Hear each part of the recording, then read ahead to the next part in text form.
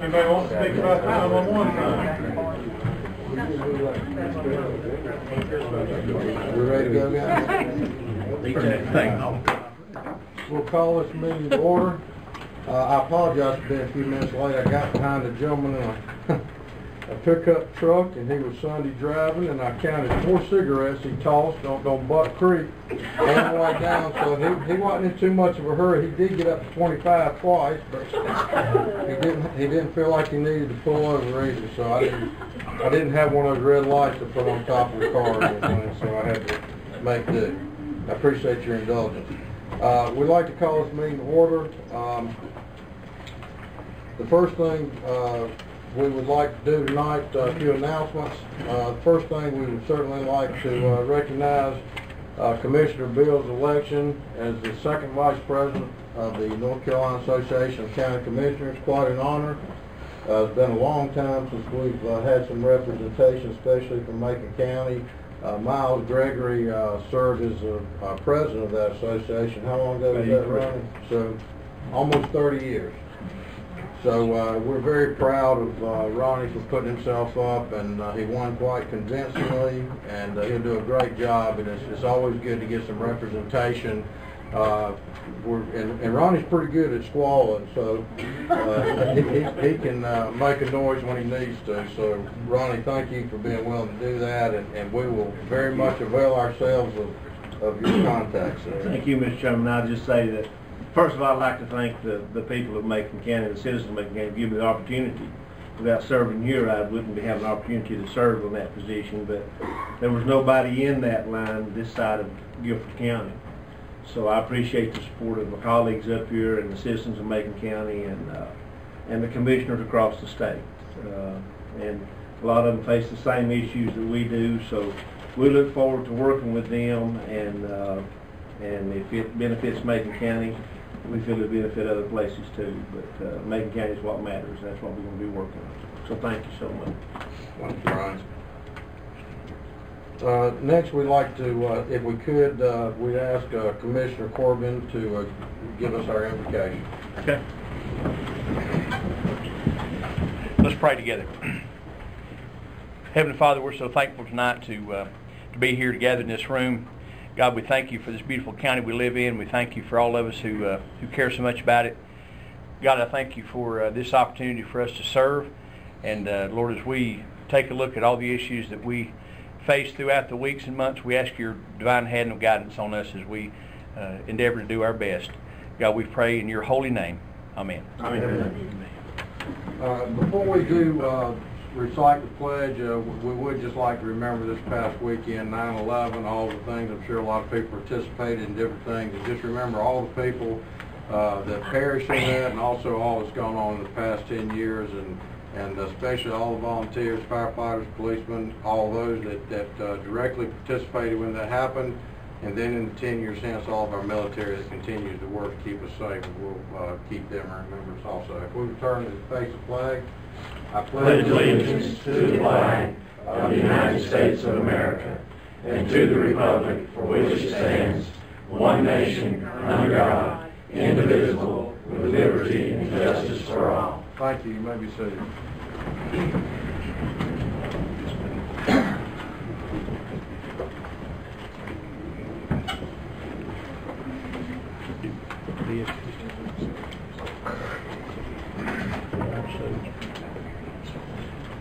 We do have uh, two uh, public hearings. Uh, The first one, uh, we'll go ahead and commence with, that's on the 9/11 road names. You'd like to come forward and share with us? Hi there. Hi, how are you? Good. Our roads have all been posted and uh, advertised as required by the North Carolina General Statutes, and I don't think that we have any, I didn't speak against any of them. We don't. No. Okay. If we, if we don't have anyone to speak, we can close that hearing then, is that correct? No one spoke. I, I have prepared the proposed ordinance, and uh, it should be in your here. pile uh, to be dealt with later in the agenda. Thank you very much. Thank you. Thank you. So we'll close the public hearing. Uh, we do have another public hearing scheduled for six thirty, but with, uh, if, with everyone's agreement, if we just go to the public comment period, uh, before then, if we only have one person that wants to speak, is that agreeable to everyone? That's fine.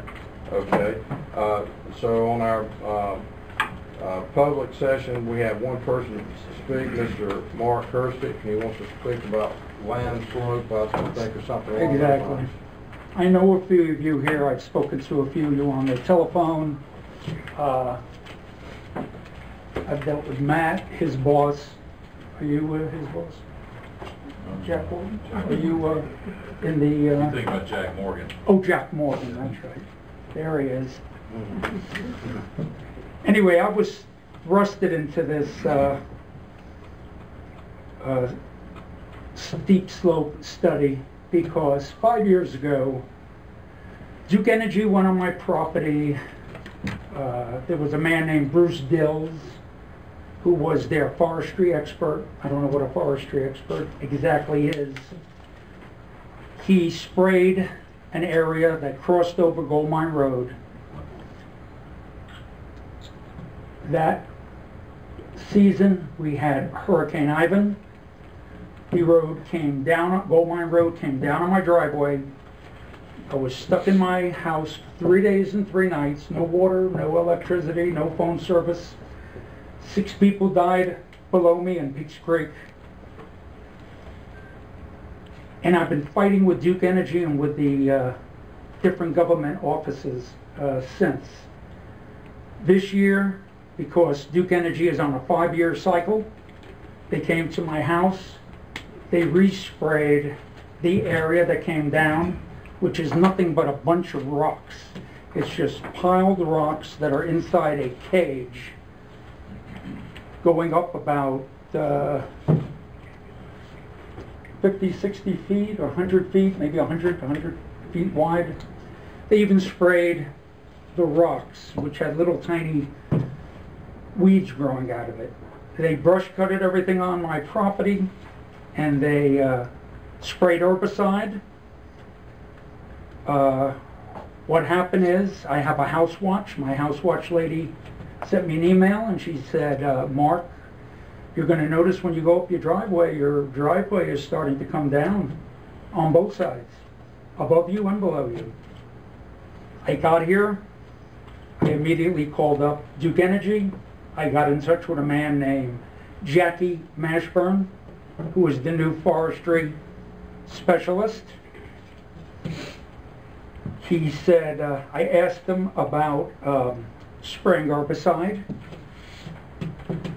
He said, uh, by law, if he, if Duke Energy gives a, uh, a flyer on your mailbox, my mailbox is about three football fields away from my house. So I would have never seen it anyway, or possibly it would have been blown away in the winter. But That's all the notice they have to give. And then they come and denude your property. Uh, I would have thought that somebody would have seen the damage right in front of them, would not have taken a parcel of land contiguous to that property, cut and spray again. Well, what's the definition of a uh, an insanity? You just keep it keep doing it over and over again, and you're expecting uh, different results, but you get the same results. So naturally, the hillside's coming down. Fortunately, we didn't get double-digit rain, but I got involved with the study because I started calling public officials, federal officials. I started with Matt Mason. Uh, I went on. I called, I spoke to the Department of Justice, Roy Cooper.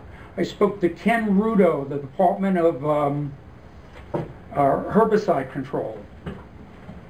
I spoke to the um, Water and Soil Natural Resources. I called Water Quality Control. I called Environmental Epidermals. I called Toxicology. I called the Division of Land Resources. uh, Section Chief uh, Mell Nevils. I spoke to Wayne Watkins, an engineer, to see if he could take soil studies, which he said are very expensive and you'd have to know exactly what is sprayed. Uh, I called the Public Utility Commission, which has absolutely no teeth and no oversight. They can, you call them, you speak to them, they speak to Duke Energy, Duke Energy says no, and they call you back and said Duke Energy says no. So that's our, that's what we have there. I called Water Quality, Division of Natural Resources, um, the Macon County Health Department. I called um, the courthouse. I know I spoke to Jack Horton. I spoke to you for something. I don't know if it was, uh, I think I even spoke to you also. And uh, nobody seems to have the teeth to enforce any uh, work that is done that can cause landslides. There are state laws that protect us, but Duke Energy says, now it's not right, but they say we're not building anything, we're just maintaining our power lines. So by saying they're maintaining their power lines, there is no rule and regulation on the books to um, what they cut. They don't have to do any selective pruning. There's many counties in this state um, that have selective pruning ordinances. Uh, they can cause sediment to run down right into Goldmine Creek, which justly goes right into, um, you know, Gantes Gulch, goes right into the Cullasaja River. No laws against that. Where's your house at from Gantes Gulch? You going up the road? I'm, the? I have a right of way on Gantes Gulch. I have a small parcel of land that leads to the river with a pond, and then, but I enter and exit my home. My ingress and egress is the second uh, driveway Above Gantes. above Gantes Gulch. I spoke to uh, Steve Buchanan, an engineer. I spoke to uh, Judy Cameron in the public utility sector. I spoke to a number of people, and this is where you're not going to like me. Everybody that I spoke to from Asheville East said, What county are you from? When I told them my problem and I mailed them all my I said, Macon County. They either laughed, they said, you got a group of people that have a, um, a vendetta against uh, environmentalists.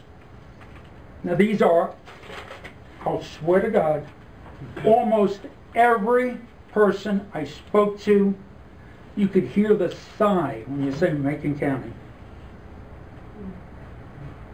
even the people with the herbicide spraying.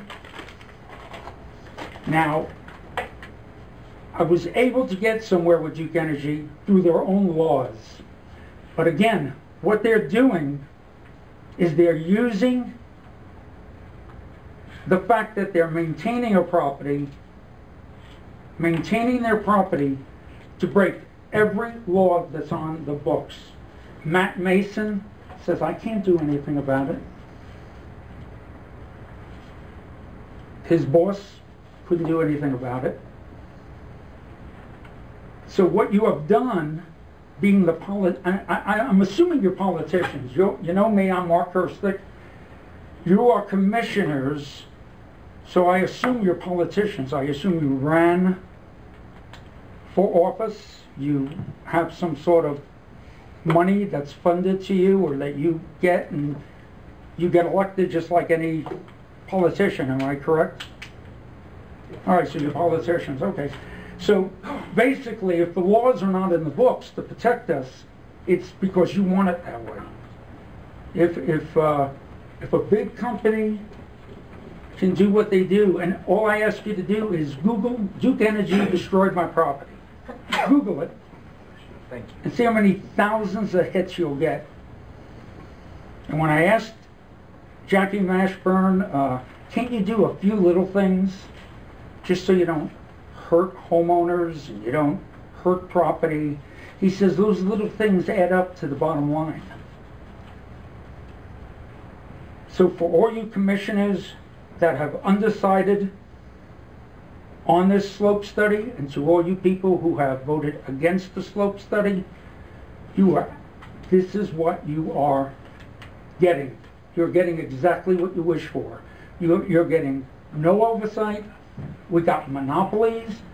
They're gonna come in, they're gonna raise our rates. This is a company, you know their profit situation. I think they went up, uh, they doubled their earnings from 2009. I think their earnings went up 20% from 2009 to 2010.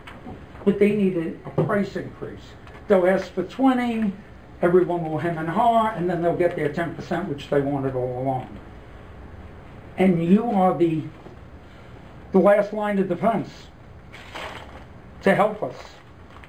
If you guys don't help us, the other, the other uh, agencies are being totally decimated probably, because again, the politicians want it that way. Otherwise, it wouldn't be there. There's nobody to help us. Ronnie, you're in construction. You know what building or clear cutting, if you remove all vegetation on a 40 degree hillside, completely denuded. I mean, is there anybody here that doesn't believe in the law of gravity? Or science? It's just, it's as simple as that. And, and, and the, the bulk of the work is done already. And the reason why I, I, I found out is because basically, I was told, get a geologist on your property. So I spoke to, I think his name is Rick Wooten, he was the guy who did the study. The study is already made. It's not gonna cost you anything. There's no big cost factor. It's just rules and regulations and laws that for some reason, they're, they're for the safety of the people. And for some reason, we have people that have ideologies. I don't know if, I, I, I read the, um, I read the rules, uh, of the county commissioners. You have a code of ethics to be nonpartisan, no conflicts of interest, no pledges. You must obey all applicable laws of government. You must be on the side of the public's good, um, not special interest. Everything is above board. We're just lucky we didn't have a double-digit rainfall. We just got two misses. I would like to know, I hope I'm not stepping on a line, is there anybody here that took a pledge or it belongs to an organization that would keep them from doing what's right? Nobody? Nobody has taken a pledge, nobody is uh, in an organization that would do that? I just think that by trying to save money, you're perverting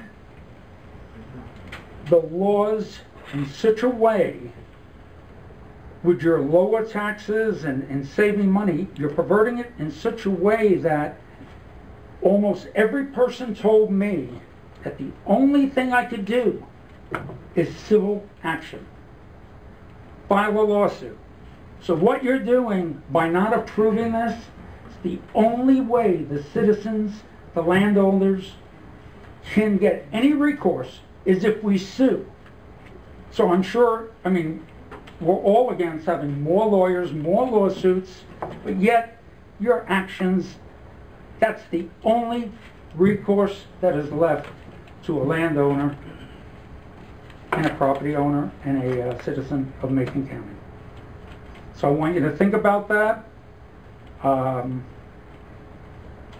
you wanted Macon County to grow. You asked for people like me to come down. I've lived here for 15 years. I've been in the area for 20 years.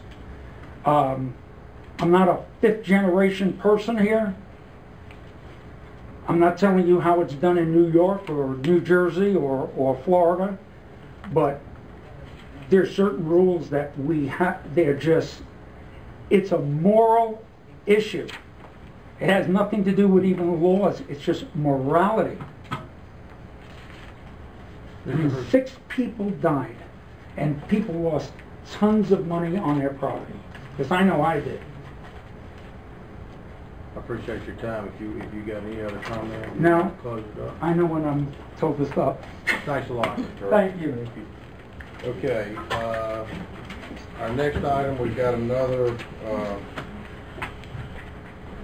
a public hearing on the Macon County Transit Rural Operating Assistance. Nobody wants to speak?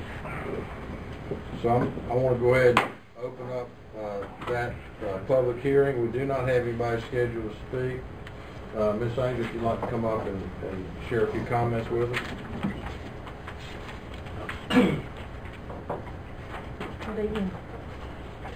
I know, I realize we're in a public hearing, but I do want to take this opportunity once again to thank all of you for your attendance at the uh, Public Transportation Association's Board of Directors meeting a couple of weeks ago.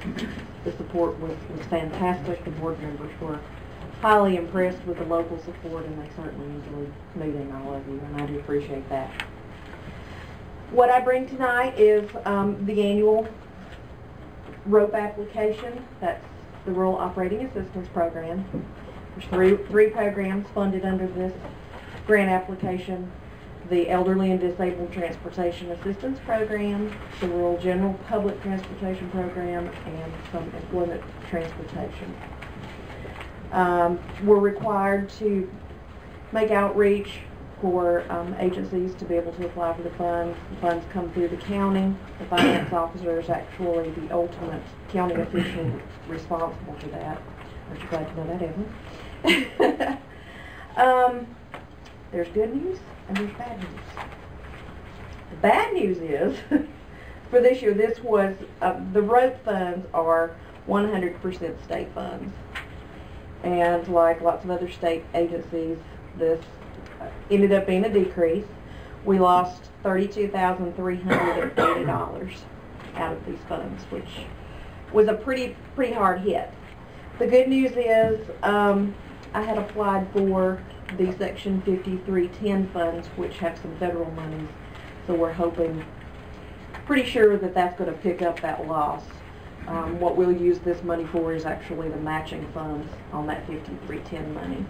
There's a 50% match, and we can use this to match that. So we're very fortunate.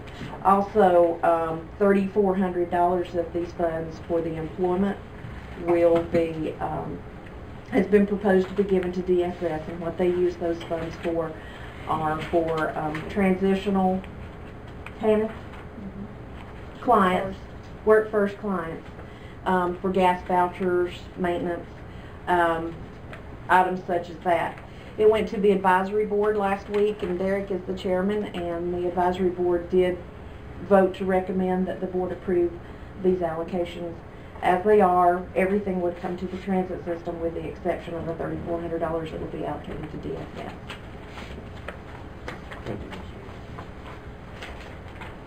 Okay, if we don't have any other, uh, any- we don't have anyone signed up, uh, for that, and we'll be taking this up, uh, uh, further into our meeting, uh, a resolution on that.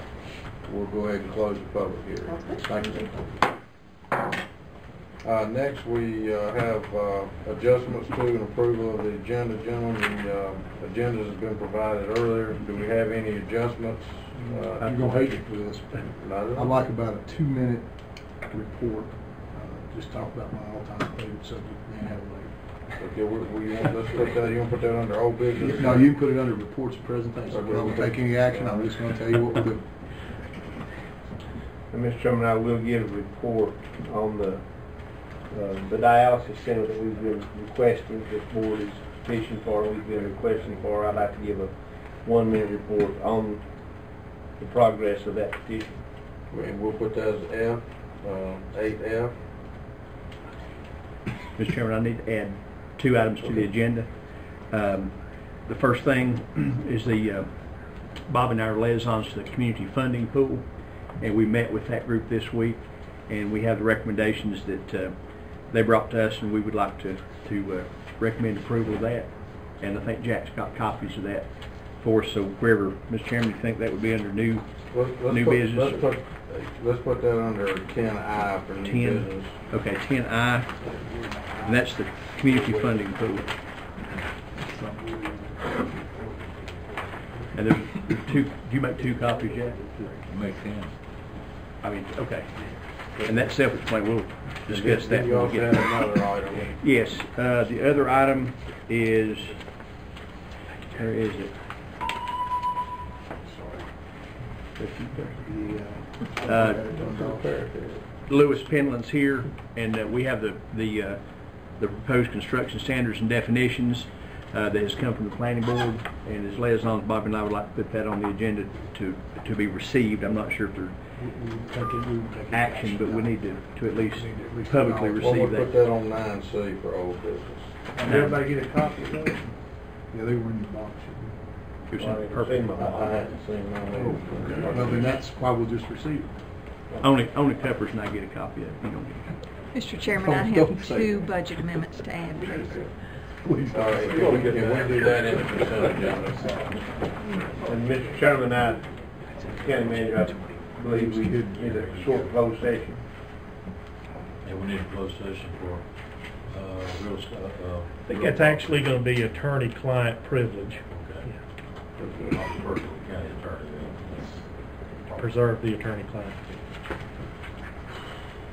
And Mr. Chairman, finally, uh, maybe finally, I'm not sure, uh, item ten C, the Diamond Falls subdivision bonds, that needs to be removed. Okay, so item ten C, we'll strike that, the Diamond Falls subdivision. Any other adjustments to the I'd like to agenda? make a couple of recommendations on something, and uh, also I would like to present something that a citizen had brought forth to me, just, uh, as I said, I would pass it. Uh, what's, could you tell me what the nature of it is so we can decide where we wanna put it? That'll be reports, wouldn't I'll just let you see it right there. I've got some several copies of one page. May not even be nothing more to do than just hand them out, but, Okay. okay. Uh, yeah, look, Sorry, Cap. yeah, He yeah, just asked me to, to. That'd be under the report.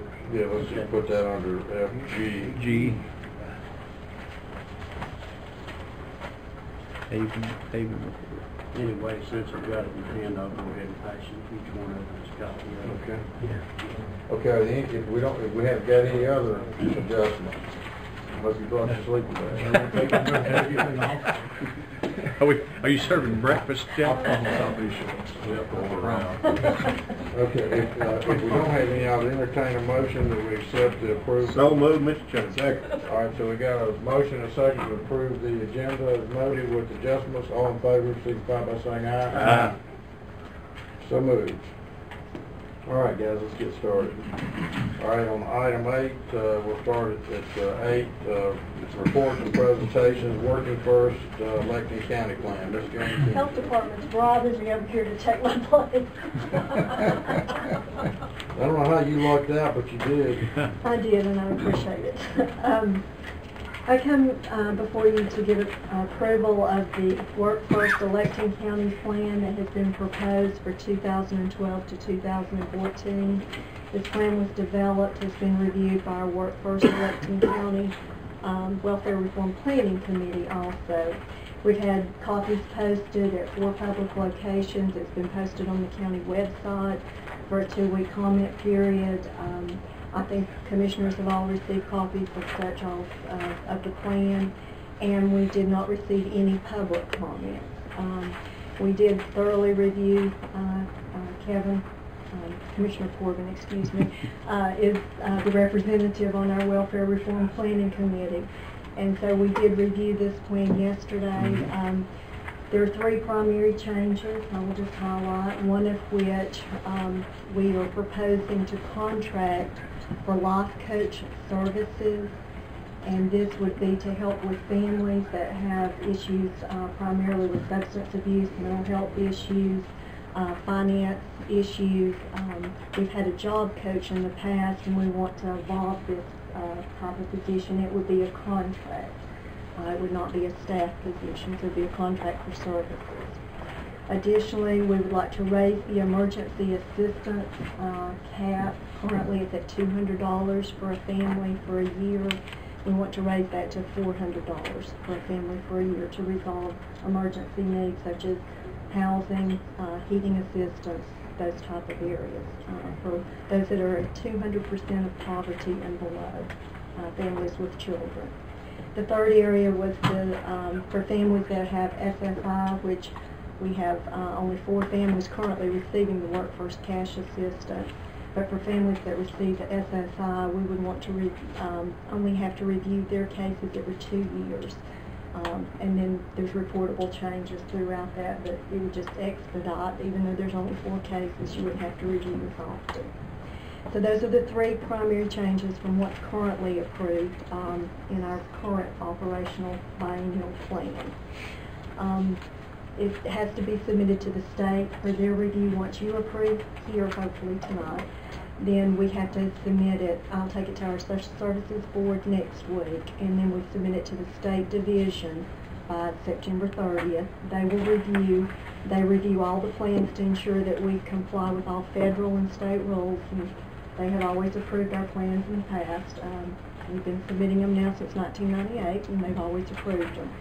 So we would want them to go through the process, and we may have to come back with you to any amendments that they may request, but at this point, we don't anticipate any. Um, And the Welfare Reform Planning Committee unanimously recommended uh, the plan yesterday. Mr. Chairman, I'd like to add, if you, if you know, if you don't know, that this year, work first also came under attack. The electing counties came under attack on a statewide level. And, uh, the, not only the County Association of County Commissioners, but we had a lot of support to maintain our electing county status. And for those of our there from the beginning of this process, and, uh, so, uh, there's never a no-brainer, I don't think, Mr. Chairman, if there's ever been one, maintaining our status as electing county and submitting this as always prepared. And we will be watching very carefully for any changes that might be made, especially in the MOA. And, uh, so, uh, Mr. Chairman, I'd like to make a motion, that we go ahead and we, uh, that we agree with the, with recommending folks and, and we pass the Work First Election County Plan as presented.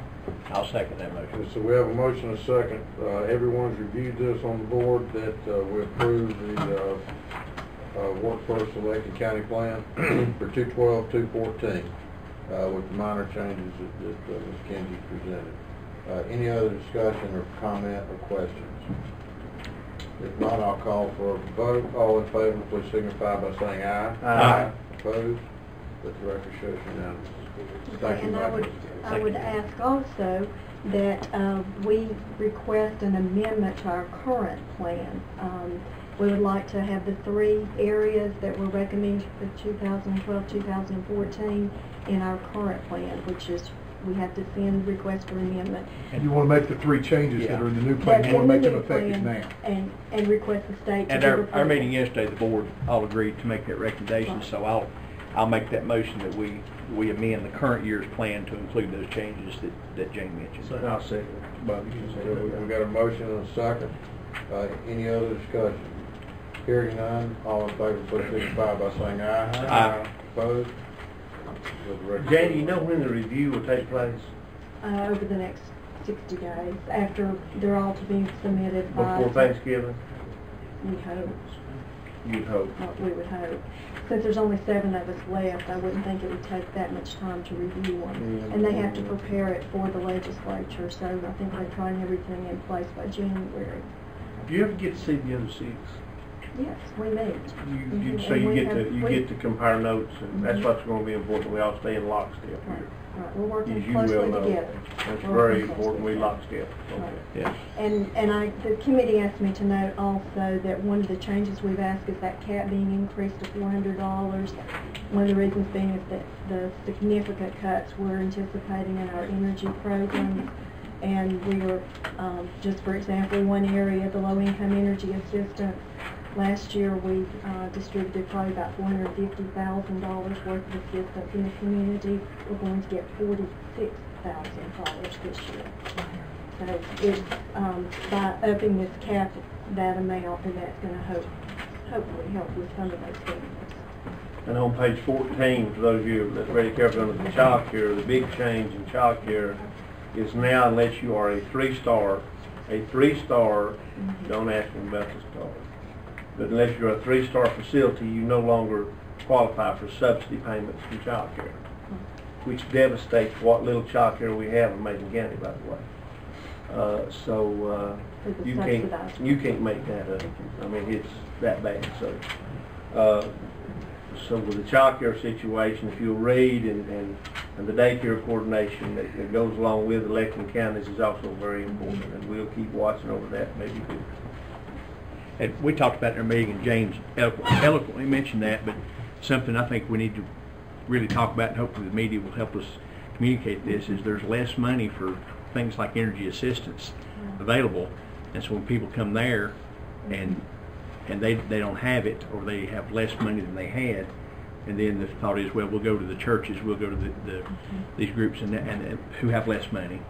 It's, uh, folks need to be aware that, that Well, to give you a good example, the biggest allotment we got last year was seventy-four thousand dollars out of the four hundred. The biggest lump, well, it lasted, No, that's the crisis. That's the crisis, it right, lasted that's- four and a half hours. Last year, we got about two hundred and forty thousand of that, and we're gonna get about hundred and eighty-eight thereabouts. But So they're changing the target population also of who can be eligible. There's gonna be a community, um, resource planning meeting. the meeting, twenty-first. uh, the last Wednesday of this month, it, it was announced. Yeah. So we are, uh, we've invited many of our stakeholders in the community to come together to try and plan, because it's gonna be a very difficult one. Well, we have uh, already struggling in the summertime. We are. It's, it's not, so winter's around the corner. That's just something we were thinking folks need to be aware of it every time we have a chance to mention that, that it's going to be important to mention, so thank you, James. Thank you. Thank you, Thank you, Mr. Chairman, under B, I've been asked as liaison, Mr. Holland had another previous engagement, so, uh, Chief Harrell is present. Uh, the sheriff will be along just as soon as possible, so if we can move on down the agenda and come back to them, if you don't mind. That's fine. Uh, we'll, we'll, uh, just hold, uh, B towards the end here on, on the reports and presentations. We'll move on to Wells Grove Baptist Church. Uh, Mr. Cook? The, uh, floodplain and fill, uh, issues.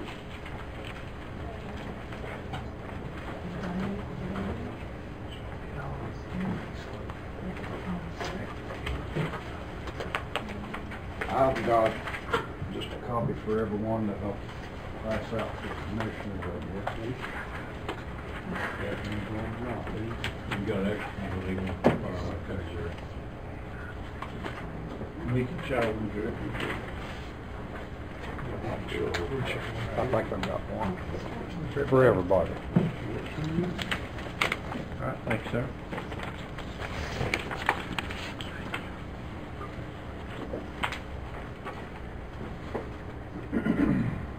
I'm not asking for a variance. I, I've been told that if I did, I would probably be turned down, because that's a Pandora's box that the board does not want to open up, and I do not blame you.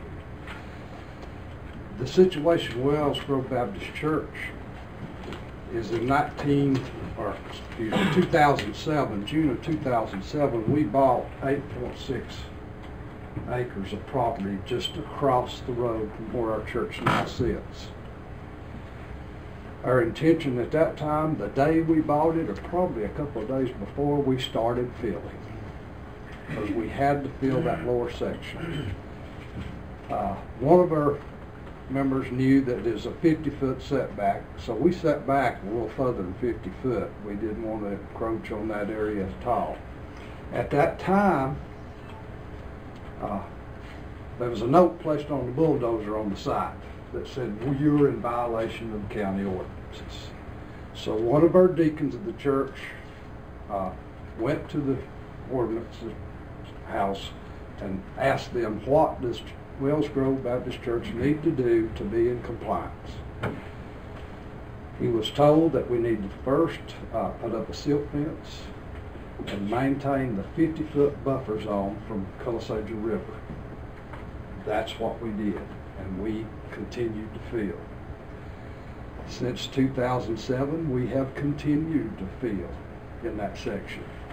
Uh, we filled this last year, a couple of dump truck loads that we found.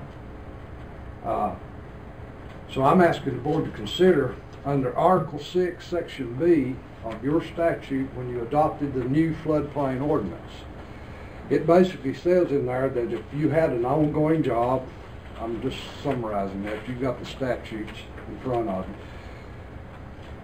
and you had a plan with the flood ordinance, uh, a floodplain administrator. Well, there was no floodplain administrator at that time in 2007. It went to someone else, and nobody knows exactly who was in charge at that time. We have continually filled in this area until this year. I was elected chairman of the Deacons for Wells Grove, and I said, we're gonna do this correctly and make sure that we don't violate any laws, and I went to a zoning administrator and we can't fill. You're not allowed to fill in that area anymore. Uh, We were operating under the assumption that we had done everything correctly. I do not know why we were never asked to file a plan. I assume, and this is my assumption, that they thought they would help Wells Grove Church out and just, we wouldn't have to file no plan or any fees, and they was gonna let us fill. Uh, And we were filling under that assumption, but we thought we were legal. Now, they said you don't have a plan on files under the old statute, so you cannot fill. I feel that this appeal, this statute that you have would fit Wells Grove Baptist Church. It is not our fault that a plan was not put in place, because we never knew we had to put one in place. We were visited, uh, in August, and the only violation they listed on that, I think you got a copy of, on that form was that we were in violation, our silt fence was leaching out, and we had to correct that, which we did. Uh, all this led to believe, us to believe that we were continuing with our field and we had no problems until Walmart started to build and they promised us a bunch of free dirt. and we could, we could finish our project with that free dirt. Uh, I was told before I come that you would not consider this. I hope I'm wrong because to fail to do this, Wells Grove Church has bought a piece of property that half of it's going to be worthless to us if we can't fill. We have worked closely with uh, Matt here and his boss, and they've come up with an alternative plan. If you'll look at your map that you have in your packet, it's in the first packet. The map will show you that we can dig on the property that's outside the floodplain, bring it down into the buffer zone, which will be about a 50-foot setback from the river, and we can use that dirt to fill this section up. Then we got the field hole, which we can legally fill under the existing thing. What that's going to cost the church is all the digging going on out there, bringing it back, it's, it's just too much for Wells Grove Church to have to face. We're going to end up with the same thing. It's going to be filled. It's just going to cost us more to do it that way than it would be if we were allowed to continue on, on our old plan to fill it the way we were doing it. Uh, I'm asking that, that we do fill in this section since our job had, did start in 2007 and has been continuing since then, uh, that you consider us in that, uh, under that Article 6, Section B. It would be greatly appreciated by the members of Wells Grove Baptist Church. Uh, I'm hoping that this can all be done without getting attorneys involved. But, uh, that's up to this board. It's not up to me. Mr. Chairman, if I could speak to it, I've worked with Mr. Cook on this project, uh, and, and looked at it and very familiar with it. Uh, talked to Mr. Cook today. Uh, I think it's important that the board knows a few things here. That this is a parking lot. Uh, I think Jerry will ready to tell you that the Yes. church has no plans to put no permanent kind of structure on this property at all. Well, on the, outside the flood zone. Out in the, and not in the We're gonna floodplain. build the church Not- outside, not not in the on the floodplain. field. Uh, and we know that this board has been very consistent, and I mean, we already talked about today, that, uh, uh, of denying, you know, variances in the floodplain. What I would ask, Mr. Chairman, in, in this situation, uh, I would ask that, that, uh, you give me permission, along with our county attorney, and along with Mr. Cook and the rest of the Deacon Board, and Matt and Jack Morgan, to, uh, to take a little more time to review this a little bit more and bring it back to this board for consideration. There might be another alternative we can come up with. And I would ask that, for that leniency, Mr. Chairman, I'd ask that, if you don't mind, to appoint me to that along with the county attorney and, uh, and Mr. Morgan, as I'm liaison to that department, and, uh, to see if there's some kind of, to the folks who, I think, I think it's, I think it's well proven that, that Wells Grove Church had no intent to break any kind of ordinance or statute. And I think this is one of those that's caught in there, and I think that, I think that maybe there's some alternatives we can get together and work on. So I'd like to be given that leniency. Talked to Mr. Cook about it, and he said the church, the only problem has, they do have access to this dirt at Walmart. If you've not seen that, they have about nine zillion yards of dirt. Yeah. Uh, So, uh, but I think that working with with Mr. Morgan, I spoke with Mr. Morgan and with Matt about it, and I think that there might be some alternatives we could come up with on this and, and work together and make sure that we stay within the ordinance with the county attorney.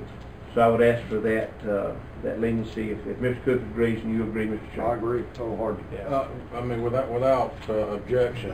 I would- no, I would- let's- I would let's- say let's- like that. let's- Let's- let's- Mr. Morgan, or, or would you be willing to consult and work, Mr. Attorney? Absolutely. And, and, uh, Mr. Beale's already stated he would, Mr. Cook, if, if, if we can do that, we can probably find a, uh, uh, a solution that's agreeable to all while staying within our ordinance, and, and, uh, and let, let's see if we can work that out together, so if everyone's agreed, I'll just let, let you kind of head, head up. I look forward to working with Mr. Cook and the Deacon Board and, and and our folks, and I think we can have something that the church can live with, and, uh, I mean, this is a little different circumstance than we've ever had before. It's it's a little bit, a little different group than we've had before. So, uh, we would ask for that leniency, and I think Mr. Cook has agreed, and I look forward to working with the Deacon Board as does our employees. Thank you, thank you, thank you, Mr. Cook. Uh, if we, don't- if, uh, no other comments, uh, we'll take that route, and we'll move on to our next, next item. Uh, healthcare access, Ms. Jordan? Thank you. I appreciate this chance to bring my ideas before the board. Um, I was the administrator of the Community Care Clinic of Franklin, which is the free health clinic, from its opening February 2010 until the end of July 2011. So I am not in the, an official capacity. I'm speaking as an interested community member. Um, in that role, however, I saw many residents of our area being assisted with their health concerns. Many of our population here and throughout the U.S. have chronic health problems such as diabetes and hypertension, among other problems. More than 1,200 clients have enrolled for these free health services since the opening of the clinic. The clinic is important here in Macon County and has improved access to care for those who are uninsured and meet the income guidelines for the free clinic. It is held in the evening, two evenings per week, utilizing donated space from the health department. It's very encouraging to me that the concept of free basic health care for everyone is supported in this county and is mentioned in the comprehensive plan. I not only want to bring the importance of that clinic to the Commissioner's attention, but to discuss the benefits and costs of health care to the larger population. There has been discussion and application for a kidney dialysis center in Franklin to serve, Mr. Beale told me, approximately 34 individuals. And I don't know the exact numbers. Currently, my understanding is that they need to travel to another county for these services. So it occurred to me that we have a transit system already in place here and that perhaps expanding services to accommodate each kidney dialysis patient in need of transportation, even if the schedule is demanding, would use a service already in place here. In addition, the transit possibly could expand to some evening hours to accommodate free clinic patients that have a problem with transportation. Many times, diabetes and hypertension are precursors to kidney failure, so treating problems early and helping to gain access to treatment for those that otherwise would go without would benefit the county and its population in the long run, in the long term. A greater number of people may be helped for a lesser cost overall. The clinic did a very informal survey for a couple of weeks in late April and early May of 2011. Very informal, very random sample. We asked about 60 clients three questions. Did they have a problem getting to the clinic tonight? Do they know of someone who needs to come to the clinic and can't find a ride? And would they be able to pay a small fee for a ride, such as two or four dollars? 28% who answered stated, uh, everyone filled the survey out that night, um, several nights. 28% stated they experienced difficulty getting to the clinic. 35% stated they knew of someone who needed to see a doctor but had trouble getting to the clinic. And 91% said they could afford to pay a very small fee for a ride. I know transportation is not cheap, but it just occurred to me that to capitalize on the system already in place, benefiting many residents in the county and might help um, a large number of people may be a good idea. I understand that a private company would establish the dialysis center. Healthcare costs are already out of control for many reasons, but establishing a new center for a few individuals drives up costs over the long run. Not that establishing a center is a negative, but perhaps there are alternatives that could be looked at. Perhaps the center could be sponsored by the hospital or by something existing in the county already, rather than a new company. Um, I just think that our healthcare system costs all of us when expensive alternatives are chosen over some solutions that are local that might spread benefit to more people. So please consider the preventive value of access to health care for all residents of our area and support expanding the public transportation as part of the means to access. Carefully consider all healthcare costs and alternatives before committing to a new facility. And that's a brief statement, that's all I have. Thank you. I will say that I did talk to Ms. Jordan, encourage her to get with Kim on local transportation. I mean, some argument about the And we have- dialysis We center. have, we have spoken, I, we worked together when I was the administrator. Okay, but the dialysis center, the, the transportation people have the same argument that we've always made. They can't get across the mountain either. So, that pretty much Last gets that. winter, we borrowed the EMS vehicle. Yeah, or you have a record station or to pull them across. In my view, uh, Ms. Jordan's argument does not hold water, Mr. Chairman. Uh, next we'll, uh, recognize Vice Chairman Cuthbert, who wants to, uh, bring us up to speed on the Nantahala. Two seconds. Uh, As you know, as you know, we've been uh, searching uh, all over Nantahala Lake to uh, try to find a place. We talked with Duke, we talked with Wildlife Resources. Thought we had ourselves all settled up at Queens Creek, and then I checked my box a little while back, and there's a petition with over 300 signatures on it saying we want to go back and look at Rocky Bridge. So let the word go forth that if 300 of my constituents drop a petition on me, I'm going to ask the question again. Uh, so we are reopening talks with Duke. We are reopening talks with Wildlife Resources. The only thing I might ask of the county manager or of this board would be a letter, if nothing else, if we're having a hard time getting a meeting set up, just a letter requesting a meeting with those folks, and we'll go, we'll go around the lake again and make sure that, that no really means no. Uh, but, but that, that's, that's where we're going. Uh, the, the petitions are quite impressive, uh, to be quite honest with you. It's really heartening to see a group of people come together and think about one thing all together and say, hey, get up and do this. So I'm more than happy to reopen the discussion.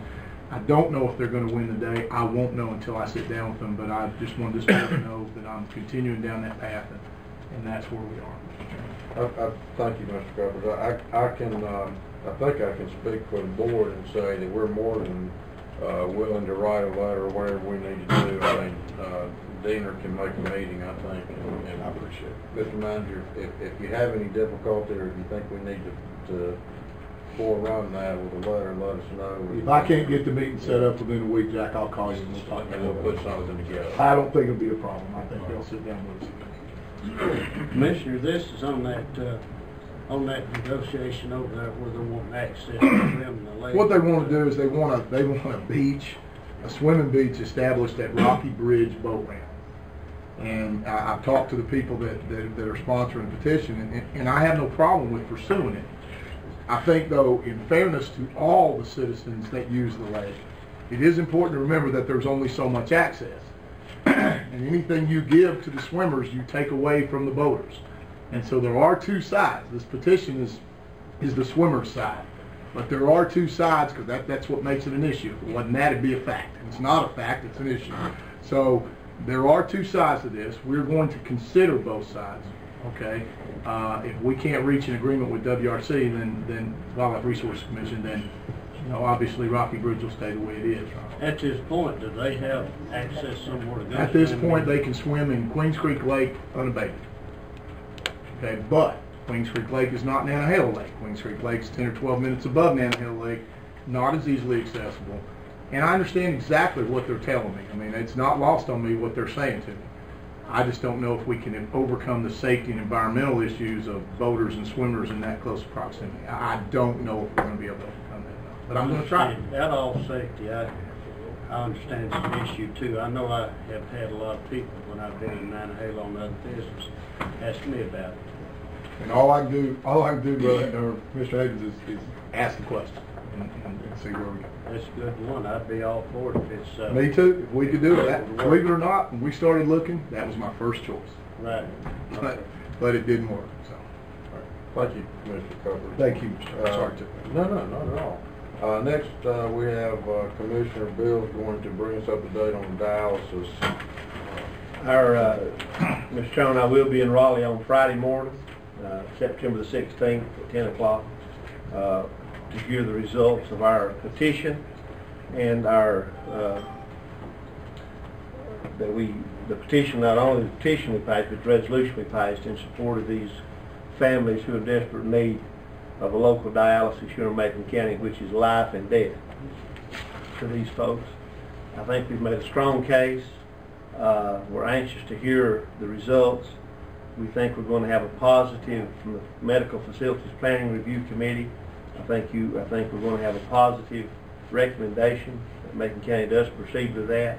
I will be there to answer any questions I can from tho- those two committees and uh, to see what our next steps are. So I'll be in Raleigh on the, on Friday at 10 o'clock to hear the results of our request. Uh, We're very hopeful that it will be a positive request, as I think we've made a, a very strong case for, for those counties who may not fit the exact criteria that the state has placed, but due to a lot of circumstances, whether it be topography and a lot of other things, I think we've made a strong case, and we will be there, and uh, we're hopeful for a positive result. Thank you. I see Sheriff Hollins here, and why don't we go back to that in that way? So why don't you gentlemen come on up? Uh, this is Sheriff Hollins, Chief uh, Harrell, they're going to speak about uh, potentially seeing what we might be able to do to retain a part-time magistrate in Highlands and why that might be important. Gentlemen? Um, thank you. First of all, you all have the letter that we, me and uh, Chief Harrell sent out to you all um, recently. Um, basically, what's occurred is is they've uh, made the decision to, to eliminate so many uh, magistrate positions throughout the state. And I know what they've done. They've looked at a map. They broke it by county. And where our stance is, is the fact of the matter is they're not looking at the distance of travel between Highlands and Franklin. And to be honest with you, um, it, it takes a lot of effort for us to have the manpower in Highlands, keep them in Highlands. And if you eliminate a magistrate's position in, in, in Highlands, then that means the, both the city officer as well as the county officer will then, in any time that they arrest somebody, will then have to, to leave Highlands, leave it um, uh, uncovered, no protection whatsoever. Um, and, and a layperson might say, well, you know, working together between the two agencies, we can switch out, you know, um, the, if the Highlands officer goes down to Franklin, you know, the deputy can go in there and, and maintain protection. But the, the reality of it is, what if we get a call out in the county? Um, in the meantime, then you've left the, city alone. Um, the magistrate is um, great to work with in Highlands. Um, he's basically on call. Um, he, and most of the time is when he's working is in the middle of the night and um, at, at nighttime. And so, you know, the, the $20,000 that they think that they're going to save by eliminating that position, we're, I can guarantee you we're going to spend that in uh, travel time. Uh, for a drunk driver alone is three hours um, in the Franklin area. So you can only imagine what it would be as we leave Highlands area to come down to, to Franklin. Um, and it's just it's just going to be a tremendous cost. Um, and, and we we drafted this letter jointly to try to, to get you as well as uh, his board of commissioners in the city of Highlands to, to pass a resolution uh, to support uh, the the governor and the um, them to to fund the money and to re- reconsider eliminating that position. You want to add anything? There's really not a lot more I can say other than it would be an understatement to say the hardships that it would present for all of Macon County. Um, not only law enforcement, but it also serves obviously the magistrate there on the civil side of things that people will have to come down and citizens that are not opposed to in normal circumstances, but in a lot of those conditions, the inconveniences and the hardships that we placed on, uh, again, would just be a travesty to the entire county. And uh, the financial um, burden that, that we will bear as a county and the community of Highlands in and of itself, uh, it's not something that should be passed down to local government for the shortfall of the state's uh, unfortunate budget cuts. Another uh, thing that you all are fully aware of is the mental health situation. That would that would then require any mental health situations up in Highlands to come down to the Franklin area, and and you all as a board know how many hours and days that takes to get accomplished, and you'd be pulling somebody out of Highlands to be able to do that. I, I, I would like to, if I could, make a quick comment. Uh, I, first I'd say I'm fully supportive of this. Uh, couple of reasons, uh, the main one being safety, and a close second is financial. Uh, I happen to know the magistrate pretty well, and, and I've spoken with him, and, and, uh, like you say, twenty thousand dollars is not a, it's a part-time magistrate. But, yeah, and, and, but the main thing is, about probably eighty percent of what he does is around three o'clock in the morning. It's domestic disturbances, uh, things like that, you guys, whatever. And he knows just about everybody in Highland, as most people that live there know everybody. And he basically just lets people sign personal recognizance bonds because uh, they're not going anywhere. He knows them. And so he knows them. And so, uh, it, it's not a requirement to go down and get bond and all that kind of stuff because they're not going anywhere. Uh, uh, and if he doesn't know them, it's a different situation, but most of the time he knows these people. But what, what is going to cost the county, uh, and, and like I think, and, and Chief Harrell, correct me if, we're, if I'm wrong, but we only have two officers at night. That's right. And, and so, so we're losing half of our coverage by having an officer have to drive down. See, I think that's the problem, Sheriff, Mr. Sheriff. I just, I disagree with what you said. I think that's all they looked at was the distance between Highlands and Franklin. Well- I don't think they looked at the reality of transiting that distance no, that's for the it. safety No, involved. that's the So whole I thing. On you. a- I'm on a not- map- They look at fifteen minutes and think it's fifteen minutes, not four. On a, on a map, it looks like it's 10 miles. It looks like it's the same distance from Raleigh. Take your finger from Raleigh to Chapel Hill as it is from Franklin to Highlands. That's a little different road. Probably more like Raleigh to Cape. But, but, Yeah. but, uh, thank Yeah. you guys for coming and, and I I think think we, we we should do certainly this. Yeah. be willing to. Gentlemen, I've prepared a uh, proposed resolution. Uh, Brian Welch um, called a- after working with these two gentlemen and brought up some of the salient points that needed to be included in a proposed resolution. I've prepared one for your consideration. It's entitled. Resolution of Macon County Board of Commissioners regarding the proposed elimination of the part-time magistrate position in Highlands, Macon County, North Carolina. I think it picks up the essence of what I've heard from these gentlemen's comments as well as comments from the board. You got it. Where's it at? It's in there. It's it's laying underneath your stuff. Resolution, uh, proposed elimination. Uh, Chief Harrell has, uh, on the list of folks that you see, uh, have you spoke to any of those, uh, has, has the board, of the Highlands Commissioner taken it up? Do you know? Not at this point, they're waiting on your action, and then they were gonna take it up in the next board Have you talked to any of these others, or Senator Davis. Representative West, have you to any? No, I was going to, once, once, So have the once I resolution spoken placed with and you sent it all to them. on the record, then I was gonna go to them and talk to them. But I felt like, I didn't want you to get blindsided by one of them, and then you not know, um, what was going on, so I was gonna About how let, much money? total twenty thousand. For a versus the, Oh, yeah. ver- versus the travesty that it's gonna cause town of Highlands in lieu of what you said, uh, Chairman uh, McClellan, is I, I've got to ask for more officers, which in a normal circumstance is not necessarily a bad thing, but in order to give protection twenty-four seven in the town of Highlands, and in and of itself, we're talking about over a couple hundred thousand dollars for that kind of coverage versus Just a couple of points that I might make on this. The, um, the county is not saying, and I, and I assume the town of Highlands Police Department is not saying either, that they don't want to share in the tightening of the belt process. And this resolution will, will bring that out. The, uh, there's, there's a proposal to cut a full-time, uh, magistrate position and, And a and, and as well as this half-time position and. And you've already taken care of that, really. That's already. No, there- we're losing one and a half positions. Yeah. We're gonna fight for, We're for not that. asking to keep the half. Yeah. Yeah, we're not even contesting the one. Exactly. Right. And I, and I think that doesn't need to get lost in this discussion No, because at of, all. And but the, the point that Brian made about this gentleman in Highlands being, uh, part-time or half-time, I think is a really, really valid point. He's essentially on call and so he's available when he's. hundred percent on call, that's why he gets up at three in the Yeah. morning to. He's essentially available when he's needed and he's there when he's needed. And, and, and I'm not, I'm not discrediting any of our magistrates, but I wish we had five magistrates, just like our halftime magistrate. He does a fantastic job. And- He's always, never hesitates to come out. He's Sure, I think we talked about, ironically, by eliminating the one magistrate, by eliminating the one magistrate, by now you're gonna have to pay time and a half or extra time to fill that other magistrate, we're probably gonna end up costing more than had you kept the magistrate. Absolutely.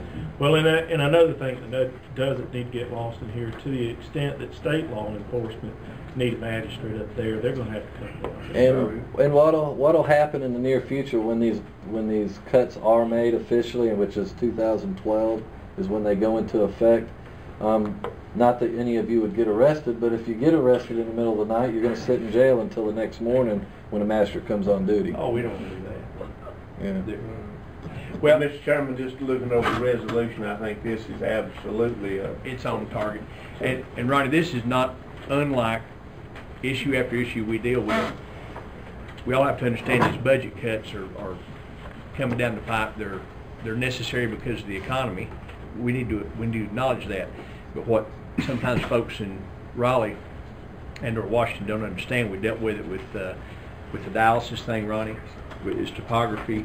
Uh, we've dealt with it with several other issues, and this is just another one where they don't understand. We live in a county, uh, Beth and I were talking about this weekend, to drive from Topton to Blue Valley takes two and a half hours in Macon County. There- that's making good time. That's if you drive fast and don't stop. And so that's where we have, we have to say, there have, there has to be exceptions. I think we have to support the fact that, that budget cuts are coming because everybody's having to live with Sure, it. well, I'm, going to put it simpler than that. This is just another one of those things, another one of those inconveniences and money that they're not passing down to the counties. Yeah. I'll just leave it And, at uh, that. and I'll tell you another, I'll add another one to that. The, they didn't, they didn't uh, think that the opinion of the local government mattered. They just, they they just continue did to it. not pass Yeah. down to us, we're gonna be But, choking but on what that, they didn't what's what I'm pass saying, down I to think what happens a lot of times, Robbie, they, they do these things as a broad brush. Right. And if you, it, it's almost if you, if you don't say something, then, then it winds up being reality. Did any of the local, our local legislators contact you, Sheriff, before this was voted on by them? No. They both supported it. Um, I was, con- I was contacted by Vic Perry, um, and. So neither one of the legislators contacted you because they both supported this cut, so Yeah, no. find that in. I, I heard about it after the fact. We were just informed the cuts would take effect in 2012. That's how I found out. Uh, Gentlemen, if we don't, um, I can read this into the record if need be, I don't believe it's necessary, but, uh, we do need to entertain a motion on this. I So moved. Second. We got a motion and a second, uh, all in favor, please signify. Aye.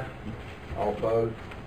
Let the record show it's unanimous. Thank you gentlemen. Thank you, guys. Thanks. You got a copy? Yeah. Here's your Thank- copy. Thank you guys Thanks. for, uh, Thank you. I hope you work coming Thank you very much. And, uh, Let us know, keep cutting us And in. if Thank you you. need us They to continue to help also, uh, us. make some phone calls, write letters to other, uh, public.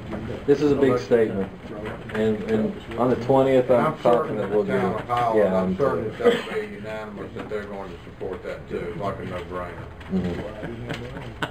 So hopefully we'll get some help. Thank y'all for Thank taking. you. Thank you, guys. Thanks. Just one more, when is this supposed to happen? When, Two When the twelve. contract Yeah. runs, ends for this magistrate's position by state legislation in December 2012.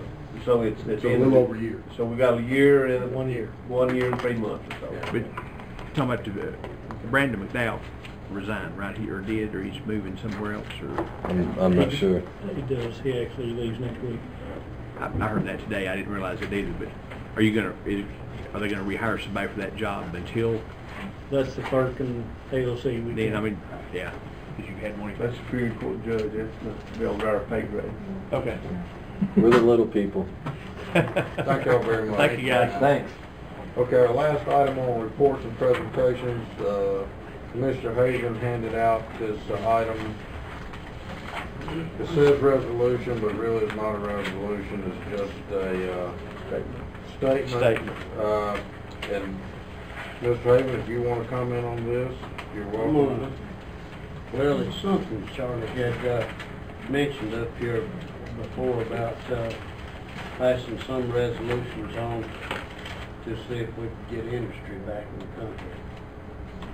And so many jobs being overseas, and so he brought it back up the other day, and he asked me if I'd present it up here, and I said I'd do that. Right. Says, he'd give you a copy. He, he did, I, I think what he, uh, his point is, and we can, we can take it as written there, we can paraphrase, I think his point is that, that, uh, we've lost a lot of jobs to foreign countries, and a lot of our industry's gone overseas over the years, now that our, and I'm paraphrasing, I think what he meant, that, that, uh, now that our economy has, uh, has tanked, so to speak, that, that we've turned around and looked, and those jobs aren't here. And, uh, I think he's just asking that we say that we think in the long run we'd be better off as, locally, as a state, as a nation, to try to encourage industry to come back here. And wanted us to pass some type of resolution to that effect. Is that sort of what he? We'll take that under advisement. Okay, Okay, moving on to old business. Uh, item nine A, consideration of adoption of comprehensive transportation plan. Derek, you want to put it in? You want to? You don't have to. No. No, sir, it's, nobody's We is, uh, Okay. Move to approve right, do we have, you know, everyone's looked at it, do we have We a have. motion? I'll, I'll move, I'll move it. we We've adopt. got a motion to adopt, we have a second? Second. Got a motion and a second. Do we have any other discussion on the adoption of, of the comprehensive transportation plan? Mr. Mr. Manager, I'd just like to make sure where, I'm kind of mixed up with where the status is on approval by the municipalities. I think both municipalities. Have both They have municipalities approved. have approved they- their yeah, side, their yeah, share? yeah. Okay, that's the only Yeah. question I had. They had to have our permission to approve that we want to make any changes in liquor municipalities. They have approved it. Right. Match came Back- back that's to us back to to us. final Okay, approval. that- that's what I thought we correct. were, just Yeah. want to make sure that's That's what. right. Okay. That's the only question. Okay, we've got a motion and a second, uh, any other discussion? Hearing none, I'll call for a vote, all in favor, please signify by saying aye. Aye. All opposed? The motion shows carried unanimously. I think, uh, as the next step on that, correct me if I'm wrong, Chairman, I mean, uh, Commissioner Beale, is, uh, our, uh, Rural Transportation Committee will uh, take this under consideration and approve it on the twenty-sixth at their, uh, Next regular meeting. The regional. Yeah, regional meeting. In, in, in Cherokee Yeah, at five o'clock. Once that holiday ends, it's changed name. It's, uh, Chestnut Tree. Chestnut Tree Inn, yes, at five o'clock. So on behalf of all the lot of people that put many, many hours in on this, Mr. Sherman, we'd like to say thank you, and I think that at our RPO meeting uh, on the twenty-sixth, that it will be, uh, it will be passed unanimously there also. And I want to thank the board also for your consideration of it. It was a long, long process. Tedious process. Uh, but well done, and the price was right.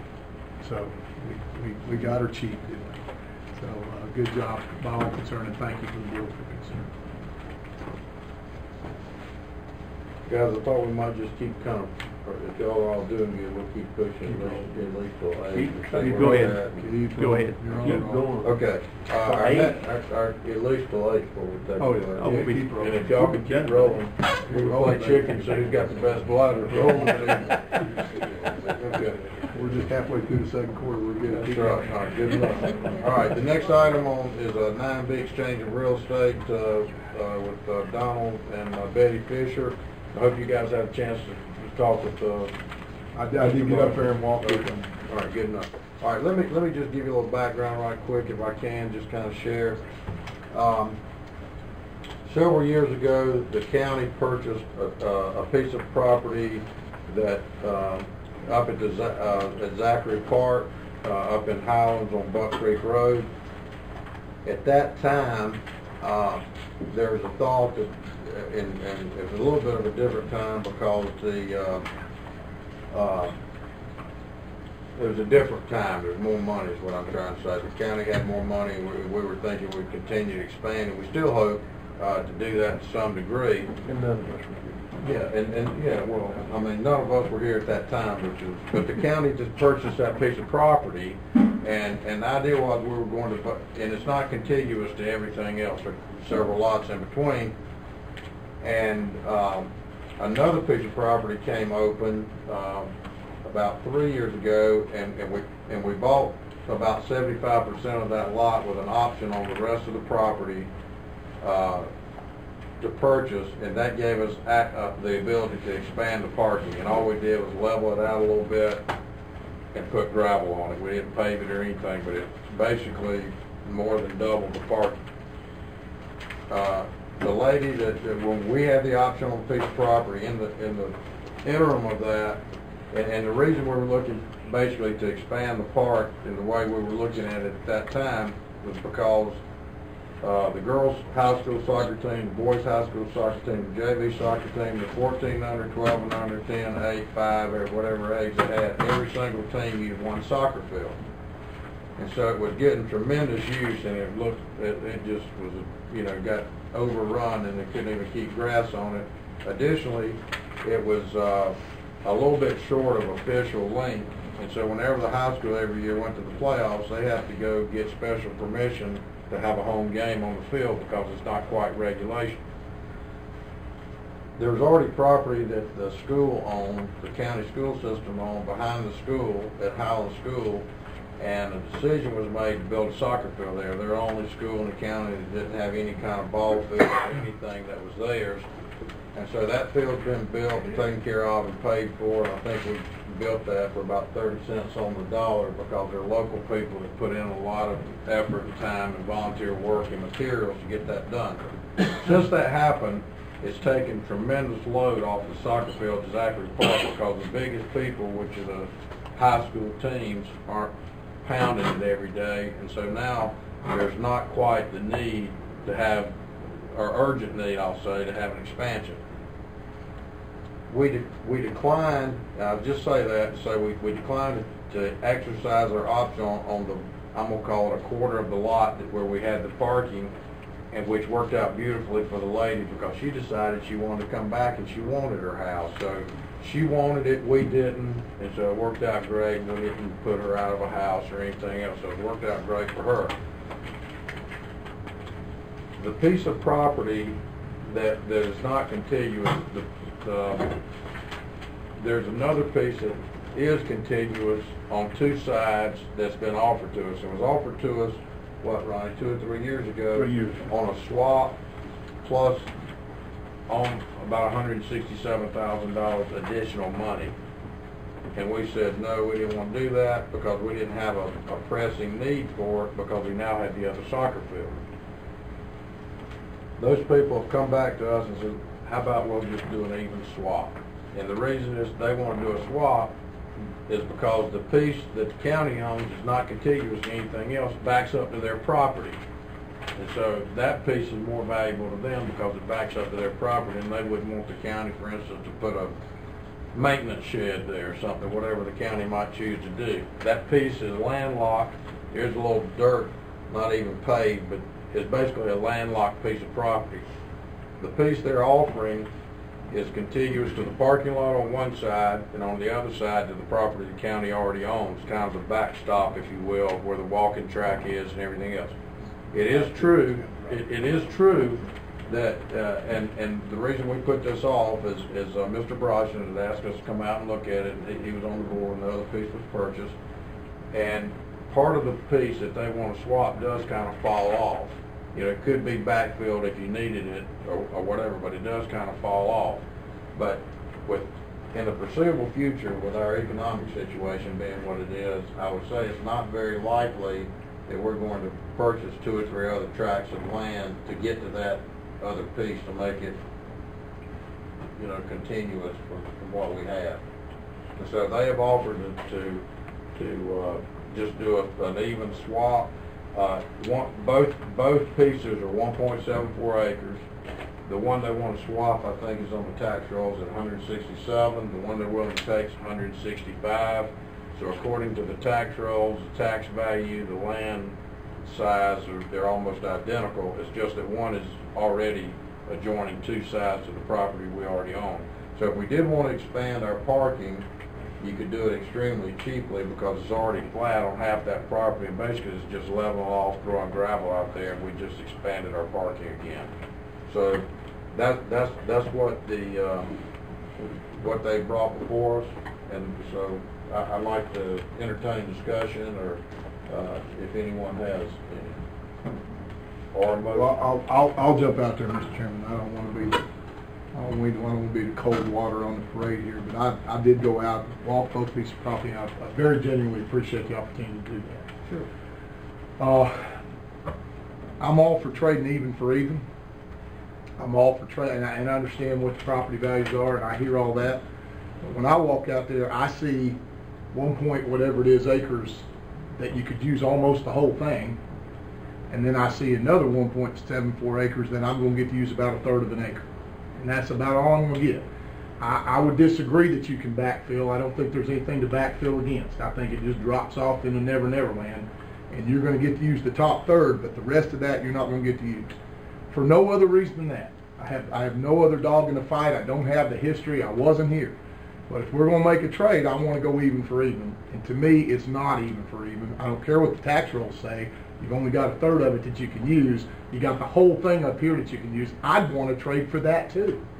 Uh, heck yeah, why not? I mean, this is this is a whole. I get the whole 1.74 here. I don't get it down here. So I I can't support it, but I'm sure you know I'm just one voice in the wilderness. But I to me, it's not even for even. I I can't support the swap. So, I mean, you think we ought to maintain that piece even though it's not I think, contiguous I to think a anything else? swap may come in the future that you might be able to get the contiguous. I don't think we have, I mean, we just laid out the argument that we really don't have any plans in mind. Uh, I don't think we're hurting for parking. I was just up there, it looked like an awful lot of parking. Uh, and so I don't see that we buy much by making the swap if we're gonna have any, pl- I I understood, I would have made, I could have been talked into it if we were in the, we were in the soccer field fandango, that, that we needed that extra three feet to, or four feet to make that soccer field regulation. But, but we're not, and, and we're in a good shape up there. We, we don't have plans to expand, and so I think we're giving away a pretty nice piece of property to get a third of an acre, and I, I, I have a hard time with that. And so that, that's the only reason I'm opposed to it. Okay. Any other comments or thoughts?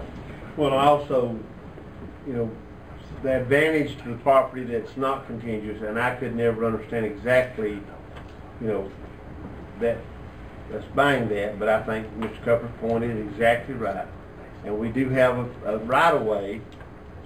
There's a right of way to that. There's a right-of-way to that, but it, but I don't see where, uh, you know, in the future, I, you know, I think the question is, is what are we gonna do with this lot that's not connected to our property in the future? I think that's the question that we need to ask.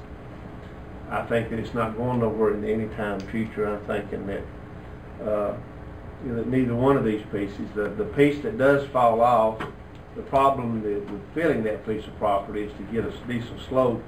And I don't, I didn't shoot a grade on it, but to get a decent slope on it, and there's a road you have to contend with down at the bottom end.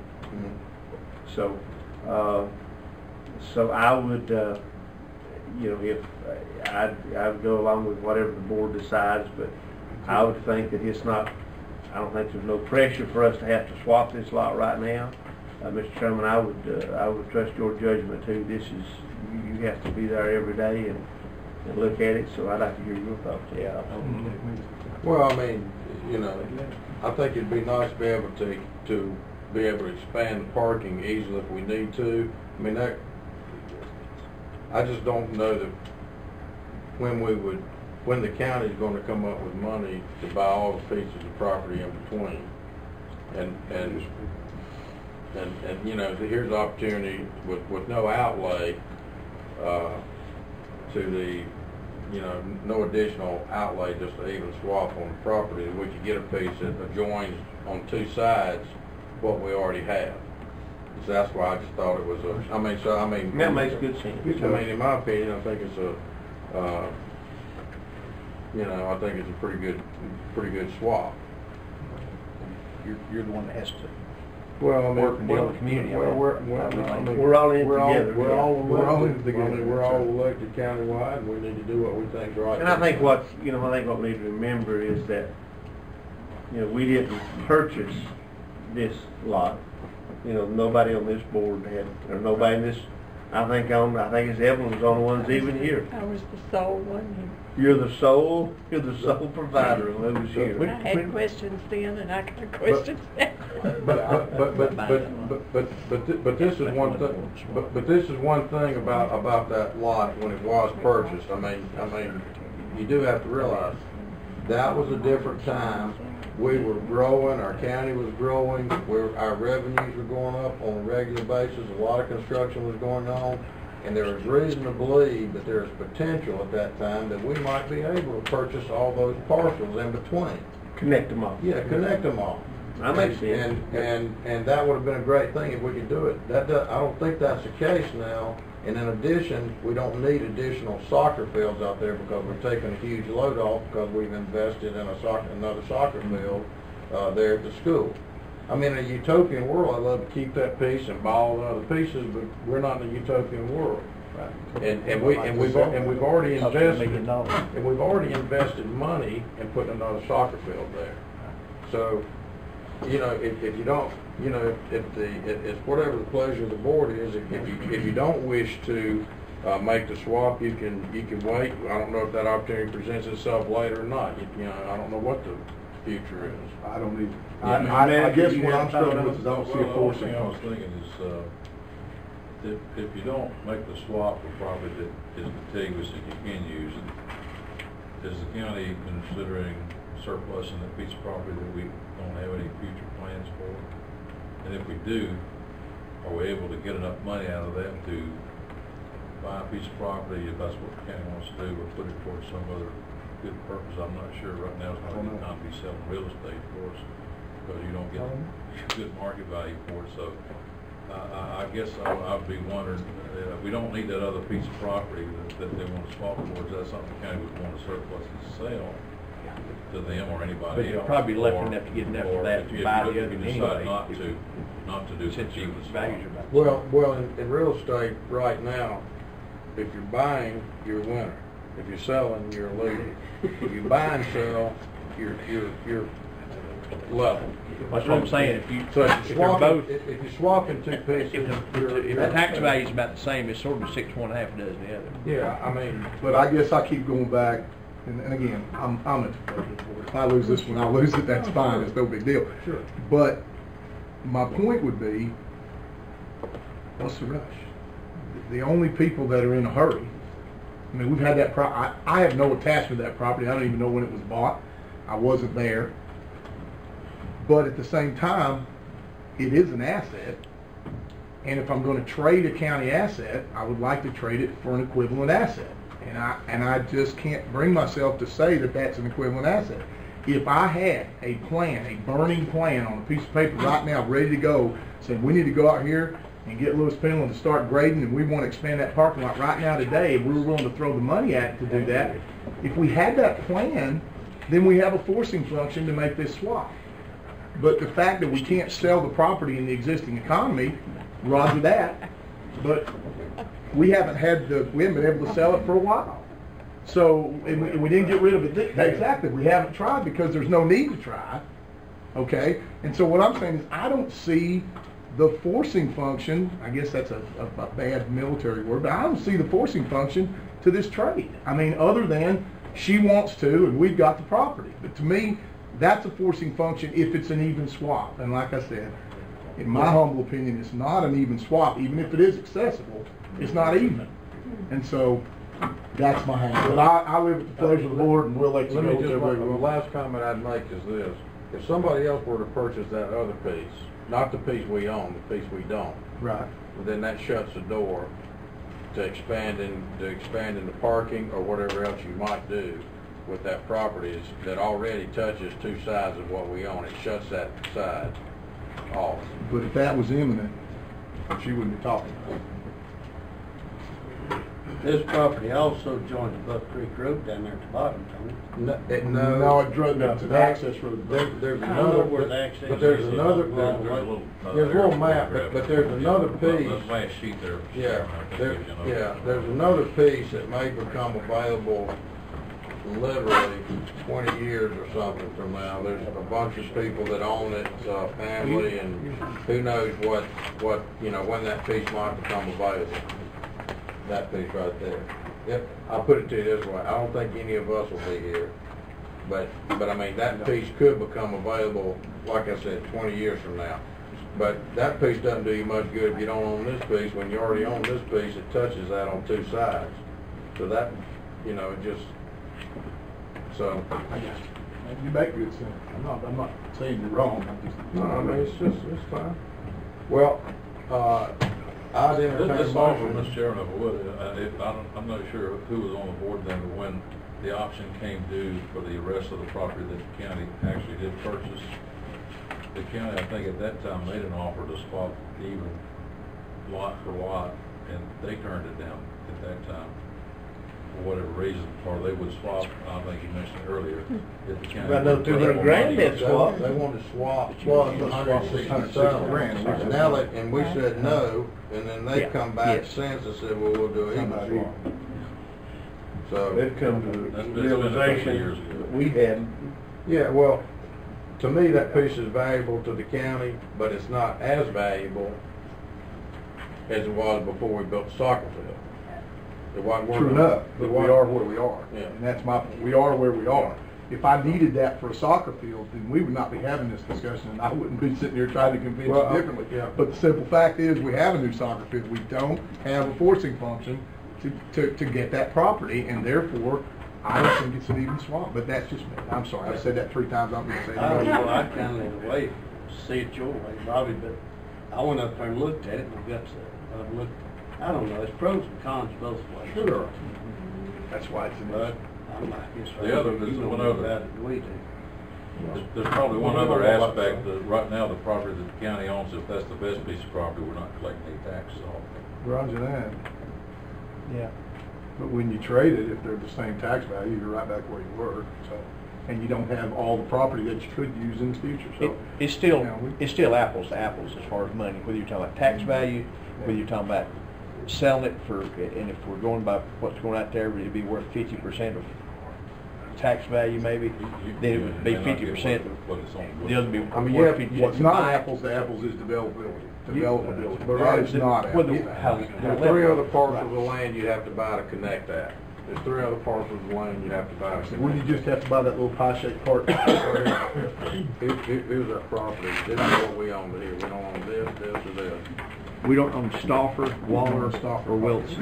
That we don't, we'd have to buy three more pieces of property. You just uh, have to buy one, 'cause then you have lots. Yeah, but I mean, I'm just saying, I'm not saying But we're you gonna could- do that, Brian, I'm just saying, you'd only have to buy one, and you'd have access to it. And you got a right of way to get to it anyway.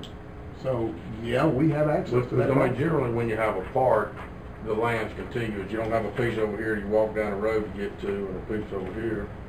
Well, yeah, but you still got access. Mr. Chairman, not to, not Yeah, to we don't- belabor we the can- we point, can- not we that we don't- talk about it all night. Right. Could I, could I make one suggestion, and Absolutely. since there's, apparently, could, could I make a motion that we, that we table this decision again, and that, uh, I would like to come up, I've not got, had a chance to sit with another commissioner, and I'd like to have that opportunity, at least with you, Mr. Chairman, or with Mr. Kuppers or somebody, to look at his, I did look at it, but the more I hear talk, maybe I should look at it closer. It's hard to get a windshield view because it was pouring rain today. I went out there and, I, No, no, I don't have- and I'm out melt. So,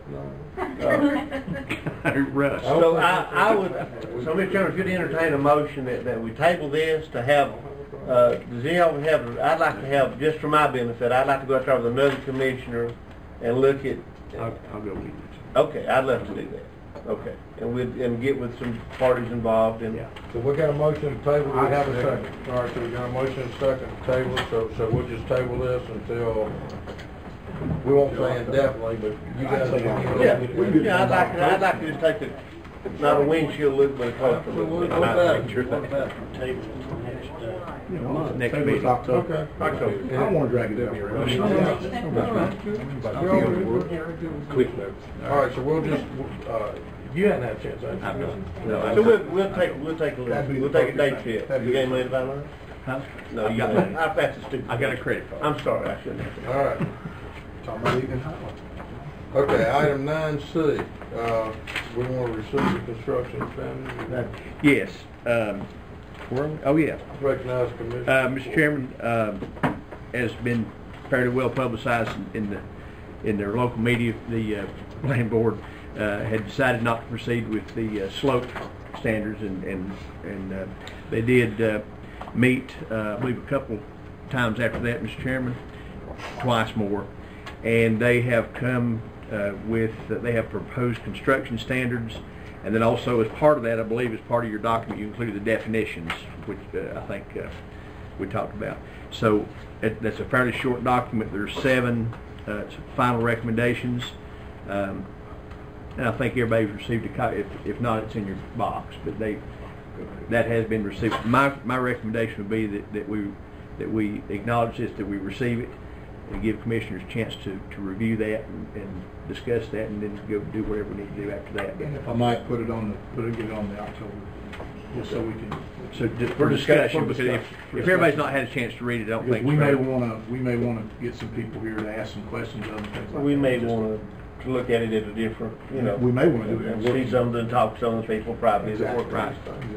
So I would, I would just suggest that we, we acknowledge receipt of this and uh, put it on the agenda for our next meeting, if that's okay, Mr. Kuppers. And I, absolutely, and I'd just like to thank the planning board, the chairman's representative here tonight, and Louis, some do other you, let members me here. recognize you. Do you have anything to say? No, Derek. Or Derek?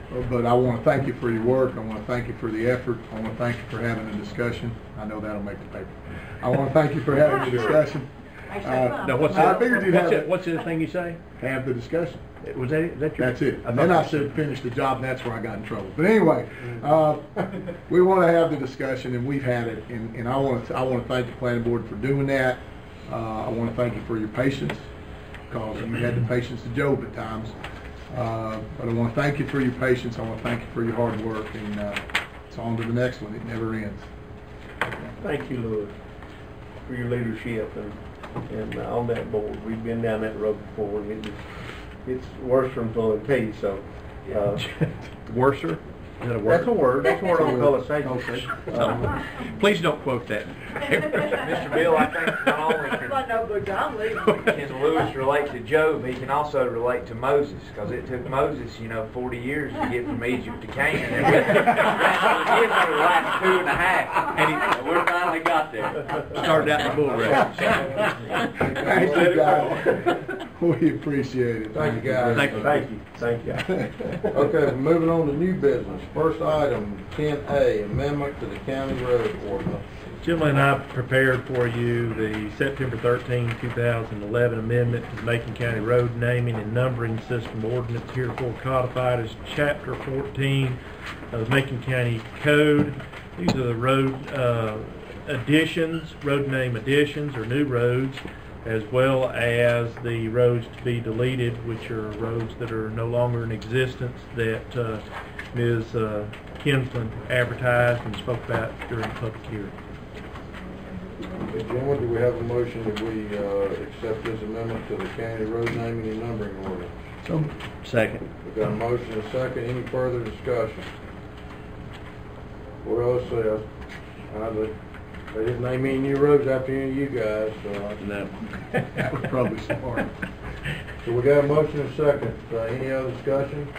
Hearing none, I'll call for a vote. All in favor, say aye. Aye. Opposed?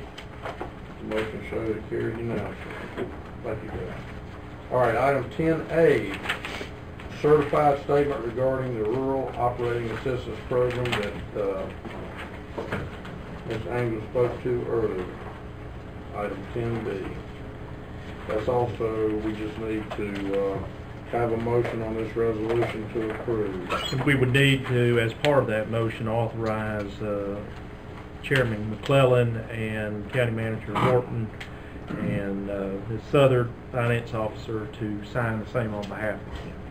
Mr. Chairman, I'd be happy to make that motion contingent upon uh, allowing the, Mr. Horton and yourself and Ms. Southers, uh, formulating the, the process and, uh, for our transit, you know, as we saw that from the statewide folks are here, that our sta, our transit system, uh, is recognized, uh, as being, has come a long way, and continues to improve under difficult conditions. So I'd make the motion we approve uh, with those stipulations. We've got a motion, do we have a second? Second. We got a motion and a second. All in favor, please signify by saying aye. Aye. Opposed? One thing I would like to add to that, uh, and Ms. Jordan spoke earlier tonight, I would just, I think all of us understand, but just, would just like to make a statement. The, the, uh, our rural transportation system has been taking, Yes. uh, dialysis patients over to Sylva. That needs to be said. So, so that has been, be that, that has already been occurring. Absolutely. Uh, the other thing I would like to make mention of is that this dialysis center that Mr. Bills really worked hard on, that is private funding. The, if the hospital, and, and we don't know that, first of all, if, if we get a resolution, they say yes, and the state has to approve that you can have one here. If the hospital thought it was profitable, they're, they're free to, to have one. They've already had one. And, and, and, yeah, and, and, and it was not profitable, but if there's a private company that wants to come in and they think the numbers work for them, uh, it's not gonna cost the county any money. Right. And so it's a private enterprise, in fact, it probably means jobs for the county. I was say. So, uh, I just wanna make sure that, that everybody understands that. Okay, moving on, item ten C, we scratched that, so item, uh, ten D, consideration of classification and compensation study, ten D.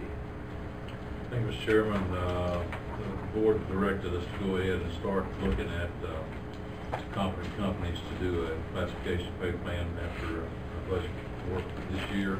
And uh, after a lot of research and calling uh, for uh, referrals and opinions of uh, companies who could do that, we, we, we ended up with one company we think that is probably the best uh, qualified to do that for us. It's called Springsted Incorporated, and they are a pre- preferred provider for the North Carolina Association of County Commissioners. And actually, what it would be, it would be a contract through the County Commissioners Association where Springsted Corporation would actually come in and do our study. We'd actually pay the money back to the County Commissioners Association, which we're members. Uh, I'd say that we, we checked, and I talked to several counties, uh, where this company has done work for them, and all of them are extremely complimentary of them. Uh, The problem they got into, many of them were that uh, they didn't pass the pay plan and weren't able to implement it because of of the recession of the economy. And so one of the things that this company would do, as we, Mike and I talked to them, is, uh, whatever the recommendation comes out to be, to help us develop some kind of a way to implement that and, uh, make it realistic, and not just a document that's set on the shelf and gather dust. Uh, They are a preferred provider, and uh, you see from your uh, agenda information that the study would cost twenty-nine thousand five hundred and fifty dollars. It would cover all of our county employees, all departments, and they would have some expenses.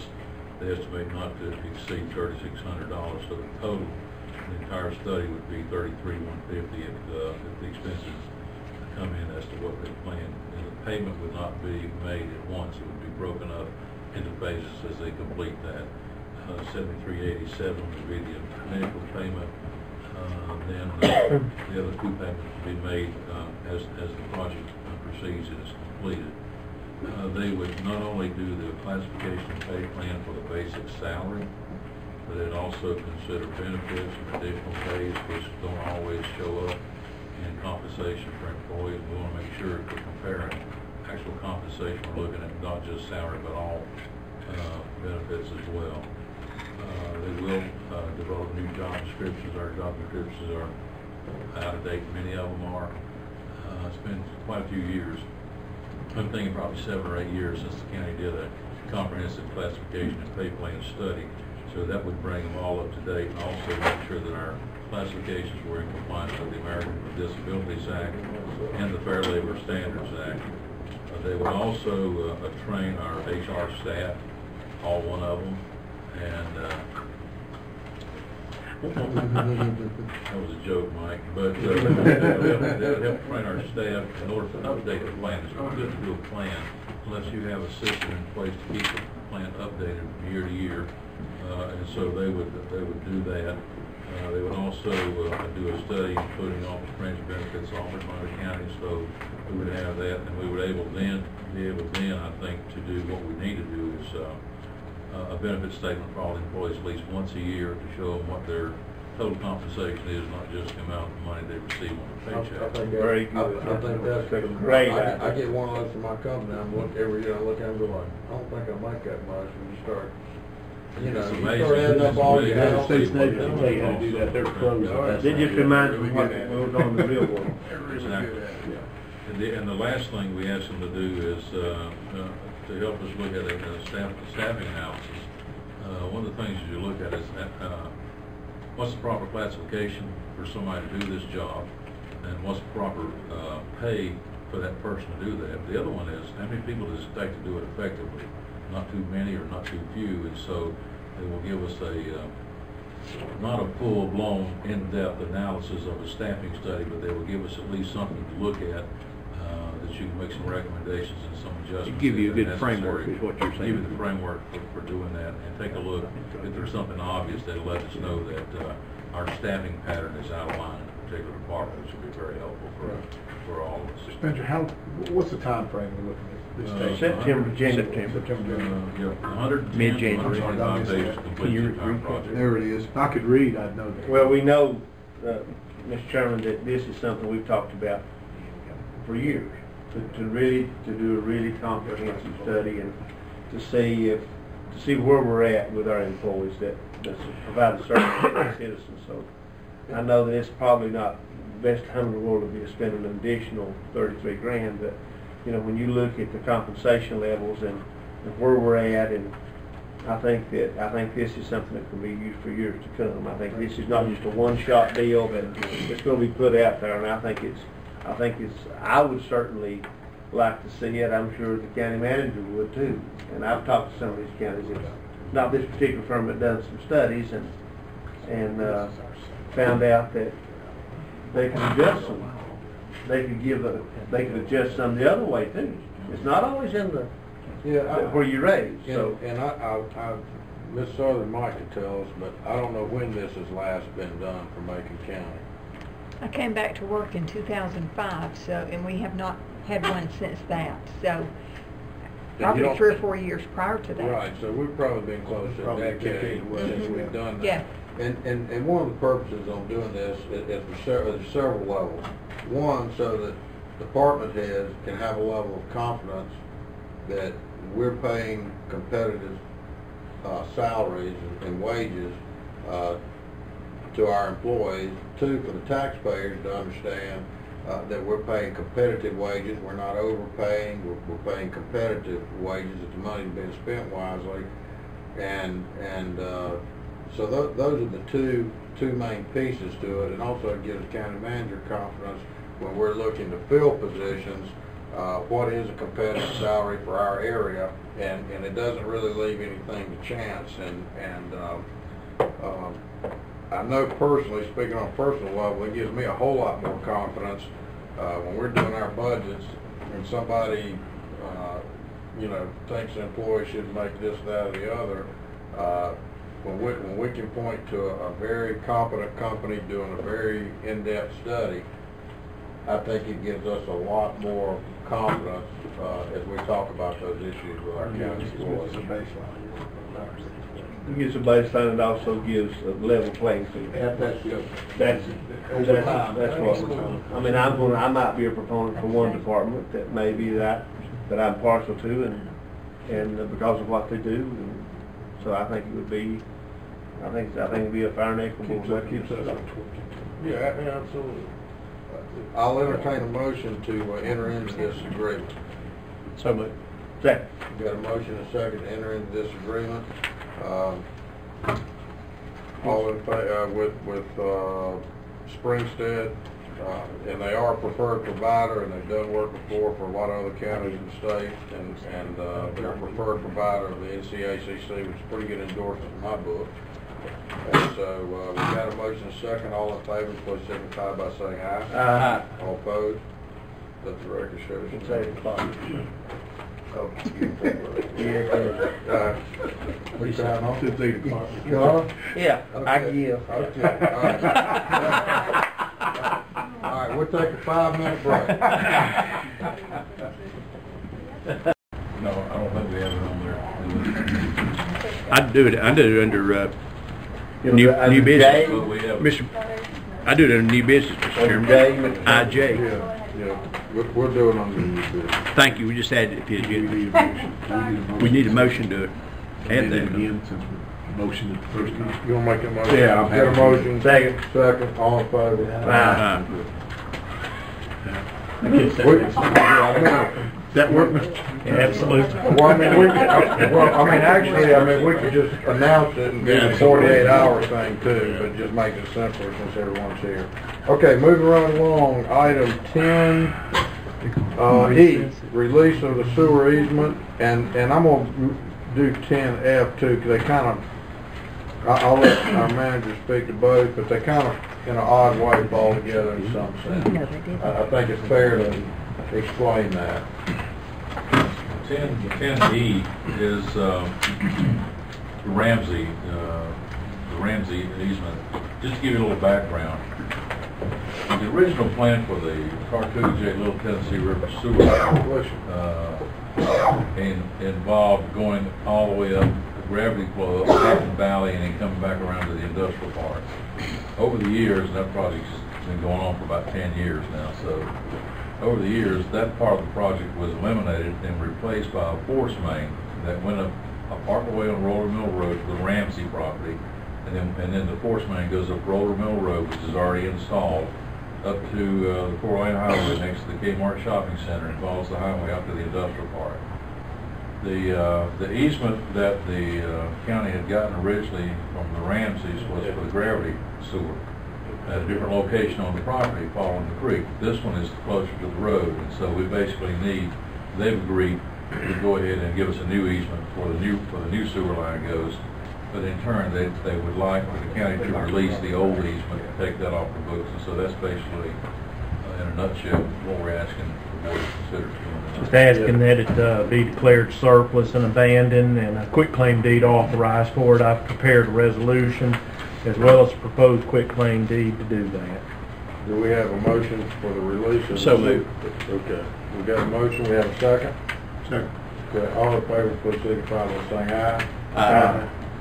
Okay, I, I said E and F, I meant E and F and G, Mr. Manager, on the, on the two, uh, do, items we have. Yeah. We kind of discussed those Mr. Chairman, as you- as you well aware, and I'm sure uh, Mr. Beale is and and other commissioners are, that the county for some time had a lease, uh, the rec, uh, rec park uh, in Nantahala, which basically consists of a ball field, small buildings, some picnic tables, horseshoe pits and so forth. And also a little basketball area, tennis court, and, and a little uh, convenience center.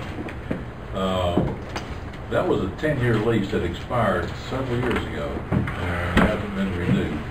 And uh, at, at one time, the county was considering making a substantial investment on that property.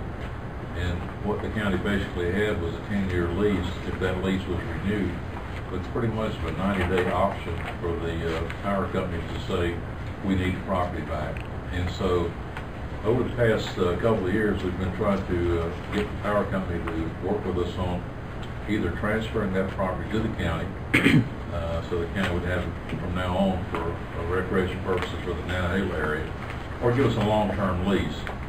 Uh, They've agreed to a 40-year lease, and the county attorney has worked with the attorney from Duke Power, and we've also worked with some local folks here to get that worked out, uh, to make sure that the county could uh, safely enter into a 40-year lease without a, a, a quick option to cancel that lease. Um, and, uh, you would have it for, for a good, a good ways into the future in case the county wanted to make any substantial investment on that property. It's about 17 and a half acres. The tract of land is bigger than that, but part of it is unusual because it goes down and part of it's in the, part of it's in the water, part of it's across on the other side. But the usable area of the property up there is about 17 and a half acres. Uh, Attorney Jones may have some other information he wants to share with you on that.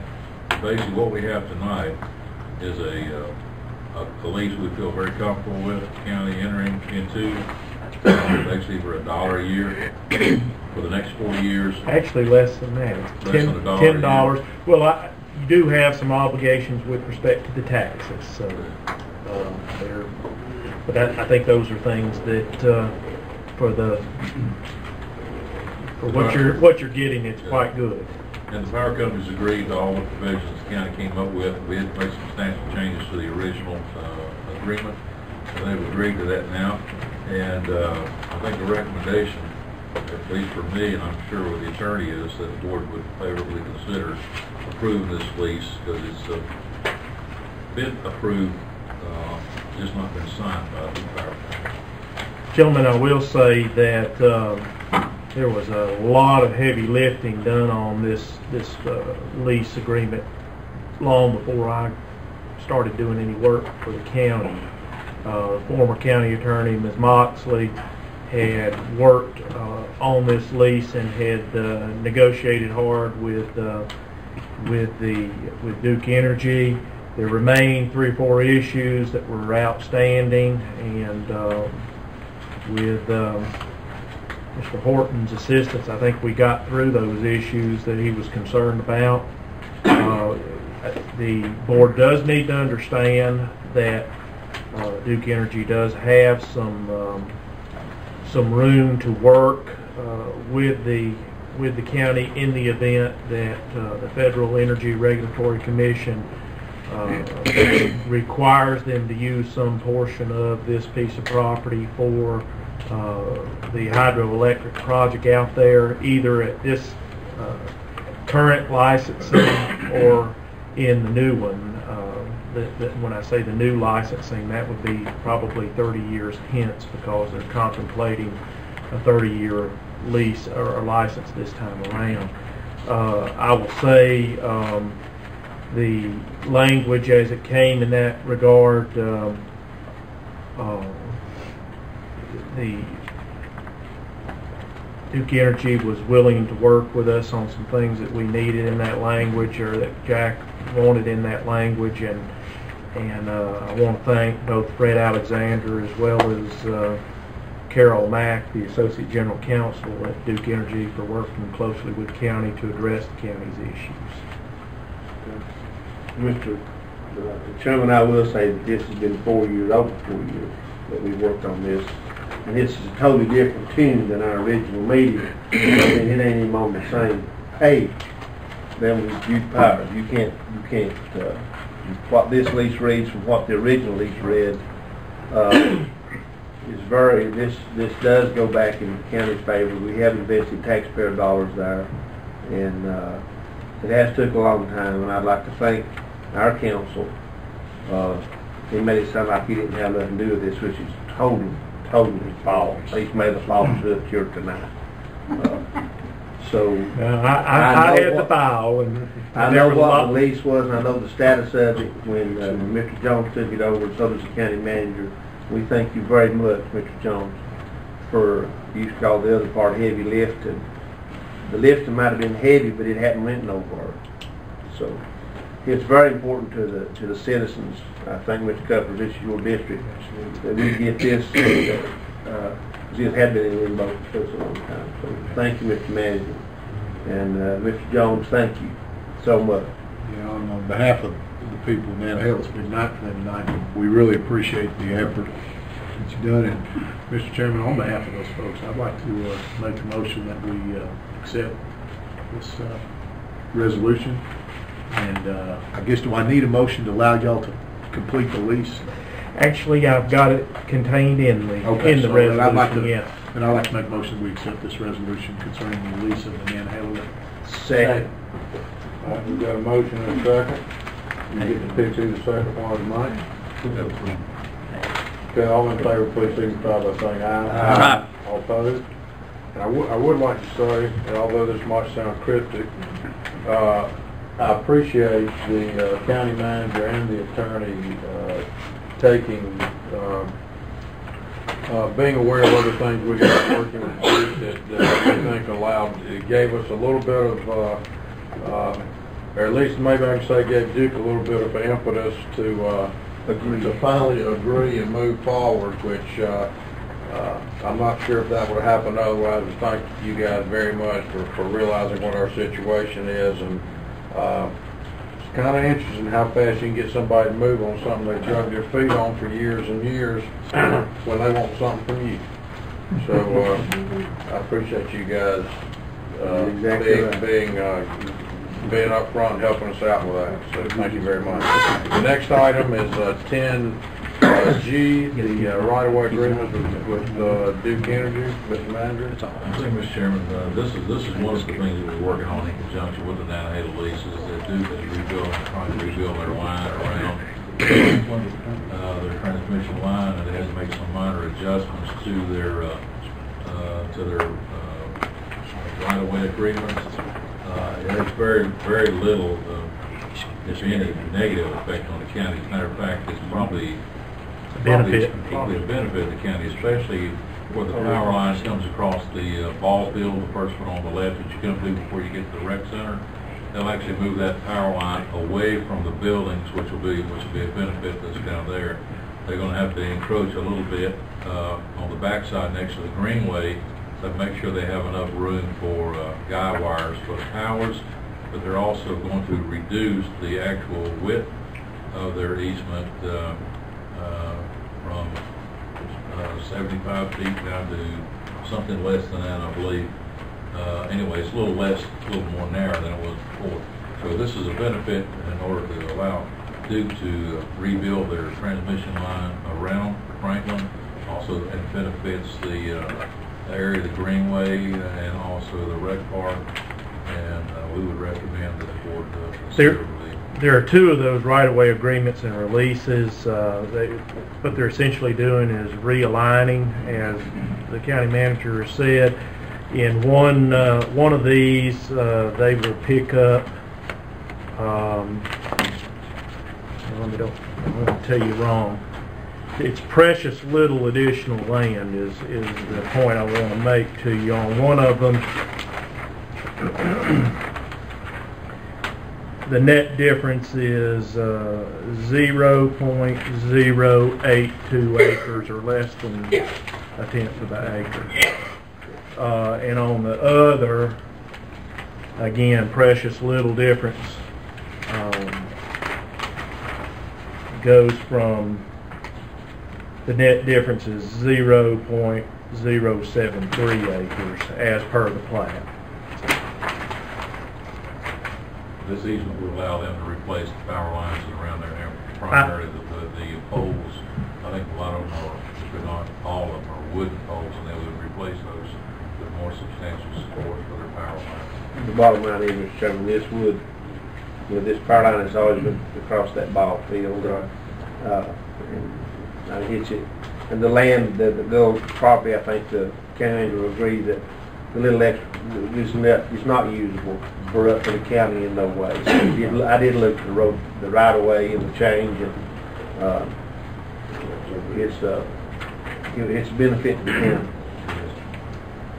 Okay, uh, I would uh, entertain a motion uh, as to uh, having the county enter into two uh, right-of-way agreements and releasing Duke Energy Energy Carolinas and to make slight changes that have just been uh, discussed, uh, and also to authorize appropriate Macon County officials to to do so on behalf behalf of Macon County to execute the appropriate documentation, uh, also for Macon County. In this case, it would be uh, Brian McClellan and uh, Jack Horton signing those, and I would ask that you uh, request that as part of your motion, a copy of each of these documents be attached to the minutes. Have a motion? Do I have a motion? And a Second. All in favor, please signify by saying aye. Aye. All opposed? Let the motion show that carried unanimously. The next item on our agenda is a resolution encouraging the citizens of Macon County to observe uh, firefighters week in North Carolina. Um, I'd ask that this uh, be brought back up, and and I know we're all in agreement, but I'll read this, it's it's pretty short. It's a resolution encouraging the citizens of Macon County to observe firefighters week in North Carolina. Whereas fighting fires is one of the most hazardous professions requiring physical strength, stamina, extensive training, courage, and self, uh, selfless concern for the welfare of others. Uh, whereas firefighters provide valuable services to the citizens of Macon County and their individual communities. Whereas firefighters make sacrifices to protect the lives and financial interests of the citizens of Macon County. And whereas firefighters respond to emergencies without hesitation when a call of duty arises. And whereas firefighters work with public safety officials and law enforcement officers to protect the integrity of crime scenes, which is necessary to resolve arson cases.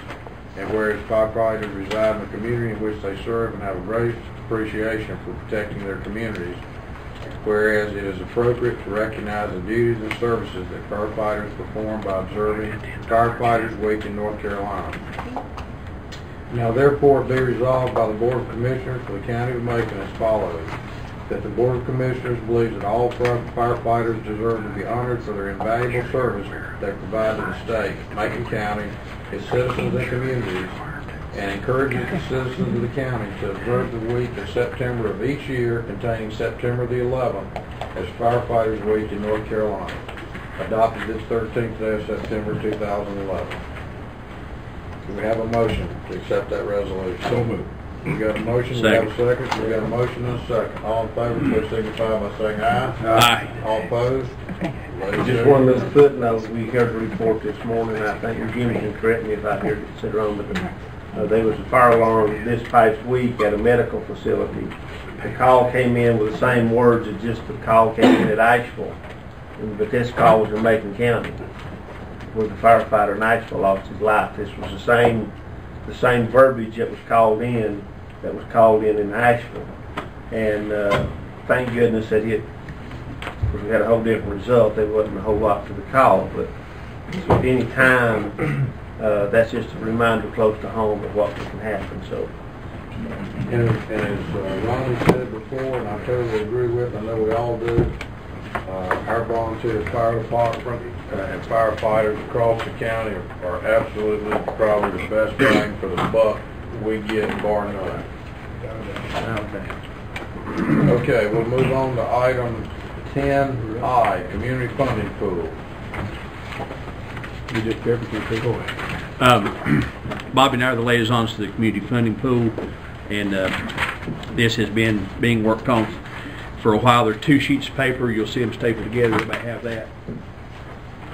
Commissioner Haven have that. Uh, The, uh, the top one as you can look at, they had uh, $50,000 in our budget that, that we approved to go into this, and I believe this is, uh, there's 10 people on the, on this committee. Miss Marianne Ann Sloan's the chairman. Bob and I met uh, yesterday with, uh, with them, and, and uh, this was her recommendation. You'll notice that uh, they wanted to put um, basically Kids Place in Reach, um, funded at the full amount they asked to, then they used a formula. If, if you'll flip over to the second page of that, um, these, these are all the organizations that, that applied for funding, the amount of their request. They had a, a formula that they used uh, to determine that, uh, eligibility as far as their, their opinions as far as these uh, groups. Um, they had 107, if you look in the first column, they're about on the same page there. They had $107,780 in requests. When they ran it through their formula, they came out with 55,388, which is uh, which is more than than is in that fund. So what we had them do, or they did do, they they went back, sort of made a decision on the 50,000, decided to keep uh, Kids Place and Reach at, at 10, and they basically took the others down uh, a pro rata amount. We, we figured close to ten, it's close to 10 to 12% less than what they were requesting, except for kids' places. But, and not just, they were requesting 107 and 780, but. Well, they requested after the- Right. fifty-five, after- three eighty-eight is what they requested. After their formula. Right. So, we present that to you. um, Gentlemen, what we talked about, we, we recognize the budget being what it is, and we recognize that fifty, basically fifty-four hundred dollars is a lot of money. What we would like you to consider, and I just want you to consider a couple things when we talk about the community funding pool. I wasn't here when it was created. I was, might have been physically in Macon County, but obviously wasn't here. It's been about 10 years. It's been about 10 years. And when it was originally funded, the amount of money 10 years ago put into the community funding pool was $50,000. And over 10 years, the amount of money put in the community funding pool has stayed at $50,000. One of the things the community funding pool is supposed to prevent is the onesie in between budget cycles thing. And, and the simple truth is that right now, at, the funding level of 50,000, we are setting ourselves up for dealing with that. We're going to deal with those on one on one case by case basis. We didn't feel it was appropriate to ask for the 5,400 above their budget. We recognize we worked on the budget too, and we know how tight it is. What we wanted to ask you to consider tonight, Kevin's got the number, is meeting them halfway from 50,000 to 55,388. In other words, that number would be 52,694. And then, what I'd like you to keep in the back of your mind is the potential in the next budget cycle to look at perhaps plussing up community funding pool so that we don't end up with a half a dozen to a dozen onesies as the year goes along. That's, that's, that's downstream. What we'd like you to consider is not the 55,388, but 52,694, which is halfway between what we funded and what they requested. For your consideration. I've got one question, more of a curiosity question than anything. On all these other ones, I'm, I understand, what's the Angel Medical Center? I mean, I know what it is, but That is the, uh, okay, the. I'm, I'm, I'm trying to figure out how, what, what would they be applying for community funding? Like everything else. The Ladies Night Out program? Is that the one we're Is talking that about? what it is? Yeah. Okay, It's on okay, that's second like- page. The Ladies Night Out Okay. program. Oh, that's, okay. Yeah. Oh, That's what I want. It's on the second page, Brian. Yeah. Ah, okay. If you look on the, and that really is the page you probably should This look really at. describes it for you, and this is where the Yeah. numbers are. Ignore the zeros. I had the same question, Brian. I'm a numbers guy. And I saw the zeros out from Reach and, and uh, Kids Place, and I went, well, wait a minute, they got no score and they get full funding. That's the Which- reason. which They, bring- they don't compete against. Well, if you look at what was requested and what was not requested, and this is a sign of the times too, the money that's been requested and that you all are recommending goes directly to help people. Absolutely, and that, that was the other thing I wanted to mention, is they, they, they went away from, it, it's clearly direct aid to people in the county to try to make their lives better. It's not, I mean, let's face it, the historical societies, the museums, they took the hit because the money needs to go to help real people in crisis right now. And that's what they looked at when they, when they scored it. Interestingly enough, they all 10 scored independently. and then they all come together, and it's a very diverse group, and that's what the averages came out, and then when they all looked at it, they said, yep, that, that's where it And that's how they came up with the fifty-five, three eighty-eight. And it's something Bobby and I've talked about privately is that we should consider, if, you- if you notice that there's two items that I think everybody universally, that they unanimously agreed needed to be funded at at the full request, that's kid play, kids place and reach. And those are two things that, that, uh, that affect every citizen of Macon County either directly or indirectly, so And unfortunately, Commissioner Corbin, uh, the demand on both of these continues to grow at an And alarming, we discussed at that, an the alarming demand on all rate. these things, that, And a that's- lot of these things that are listed. Bobby and I discussed the possibility, and, and Jack, you can help guide us on this, but next year, if, if the feeling of that group and the feeling of this group is that those are groups that, that we should fund at their request, perhaps we should take them out of this community funding pool, since they're a given, it- you And know. fund them directly. And fund those as a, as a, uh, Well, those programs that have been funded typically at a, at a set amount each year, uh, because of their, their vital to the county, like Kids Place and, and that. We do have one or two other small programs Right. that are funded, like our senior citizens program. They're, they're gonna go through the funding pool, but without that money, without those jobs, those senior citizens would. Right. And so we, we put that as a regular line. We don't wanna get away from, from the The community. community funding pool. Not- No, sir, not at all. What we're saying, Jack, is if you're always gonna take that twenty thousand dollars off the top, Right. wouldn't it make more sense to line item that money, and then everybody else competes for whatever And- money you decide to. And we talked the about the fact that this, this fund had not been increased since, and I don't think Since anybody has the exact date, but since ni- maybe ninety-eight or two thousand. uh, That had it been, had it been increased a little bit, of course, we've done decreases last four years, we all understand that.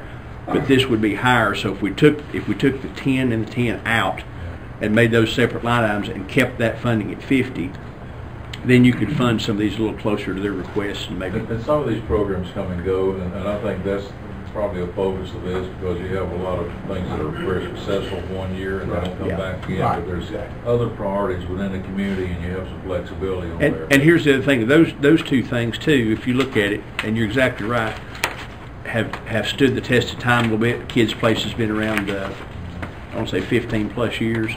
Um, and so is Reach. So, that's, that's the thought for next, Just a we're not thought, recommending we're that not recommending now. now. The only thing but- we'd like you to consider now is bumping it to fifty-two, we're asking you for another two thousand six hundred ninety-four dollars and thirty-nine cents for the community funding pool. If we don't get it, i- if the board is, the board does not see fit to do that, that's fine. This, We're then we would okay. turn around and ask you to, well, you don't have to approve it, I guess we just. And that's why we gave you both, we're okay, whatever you guys want to do. Let- But If I could make just one quick comment. Uh, I think we've talked about this in prior years. Uh, and, and you're right, Commissioner Corbin, we, we, we have never, we never raised it, but we we didn't cut it either. when- Right. when we Well, I did have to explain the Kuppers Amendment last year when we took five hundred it dollars was, it was forty-nine. They were really happy to get that back, so. Having, having said that, there, there's two, to me, there are two important pieces. I don't know about taking these other ones out, I mean, that's for budget discussion, and we'll, we'll do that in due Right. time. If we want to entertain raising this because we think it's appropriate, uh, I certainly would be willing to think about doing that. Um, and, and one of the reasons why, why this, the volunteers do a tremendous job, you know, on, I mean, they've got a great system, I believe, they try to do it in a very fair and impartial way. Having said that, one of my reasons that I would consider raising it is because we really, really do not want to get in a position of onesies, twosies coming before the board and, and trying to have the board decide, you know, who's, who is worthy and who's not. It's hard to say no. You can't do Yeah, that. it's really, it's very much. Well, you have to look at the- And the To be original- honest with you, they do, I'm just telling it like it is, they do a much better job than we would do. Absolutely. Well, they spend a lot of time with this and- Because of the process. And the only reason So, Bobby and I that's the recommended right place maybe for meeting it. them in the middle is, is because of that, because we feel like they really did a good job. The fifty-five, three eighty-eight, seventy-eight is an odd figure because they didn't just pick that out of the air and say fifty-five thousand dollars.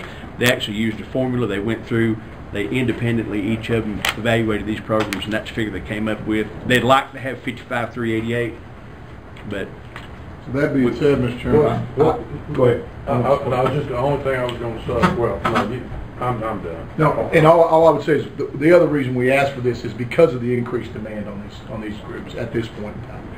So if, with, with, uh, uh, I'd like to make a motion that we, that we, uh, authorizing it fifty-two thousand, six hundred ninety-four dollars and thirty-nine cents total for the community funding pool, pool to be distributed as you see. And what they'll do is they'll take that fifty-five, three eighty-eight and their percentages and prorate that down.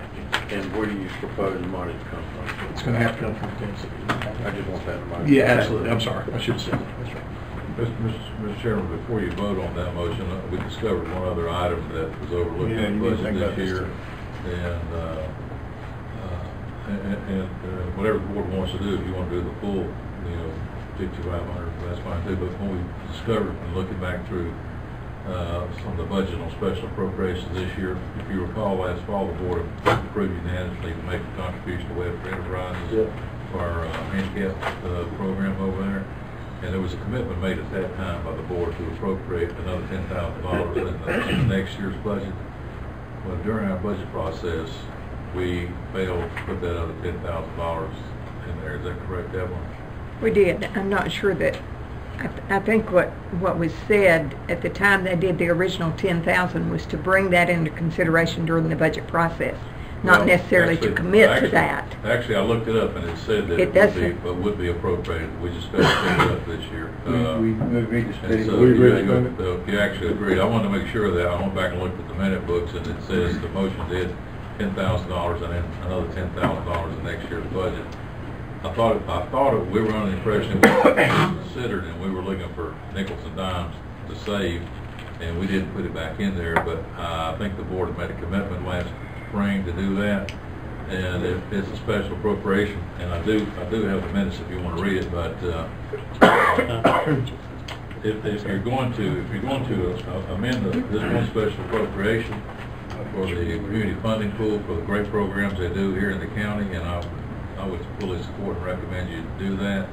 I'd like you also consider uh, allowing us to make a budget amendment to fulfill the obligation the board made last spring to our, our citizens, our handicapped citizens on that program.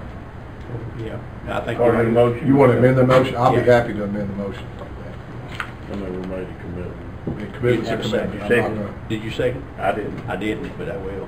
How about So, Huh? so, I will uh, So the total now becomes Ten Give me that thousand two number hundred. again. Sixty-two twelve thousand. thousand, six hundred and ninety-four dollars and thirty-nine cents, two thousand, six ninety-four, thirty-nine to the funding pool and ten thousand new.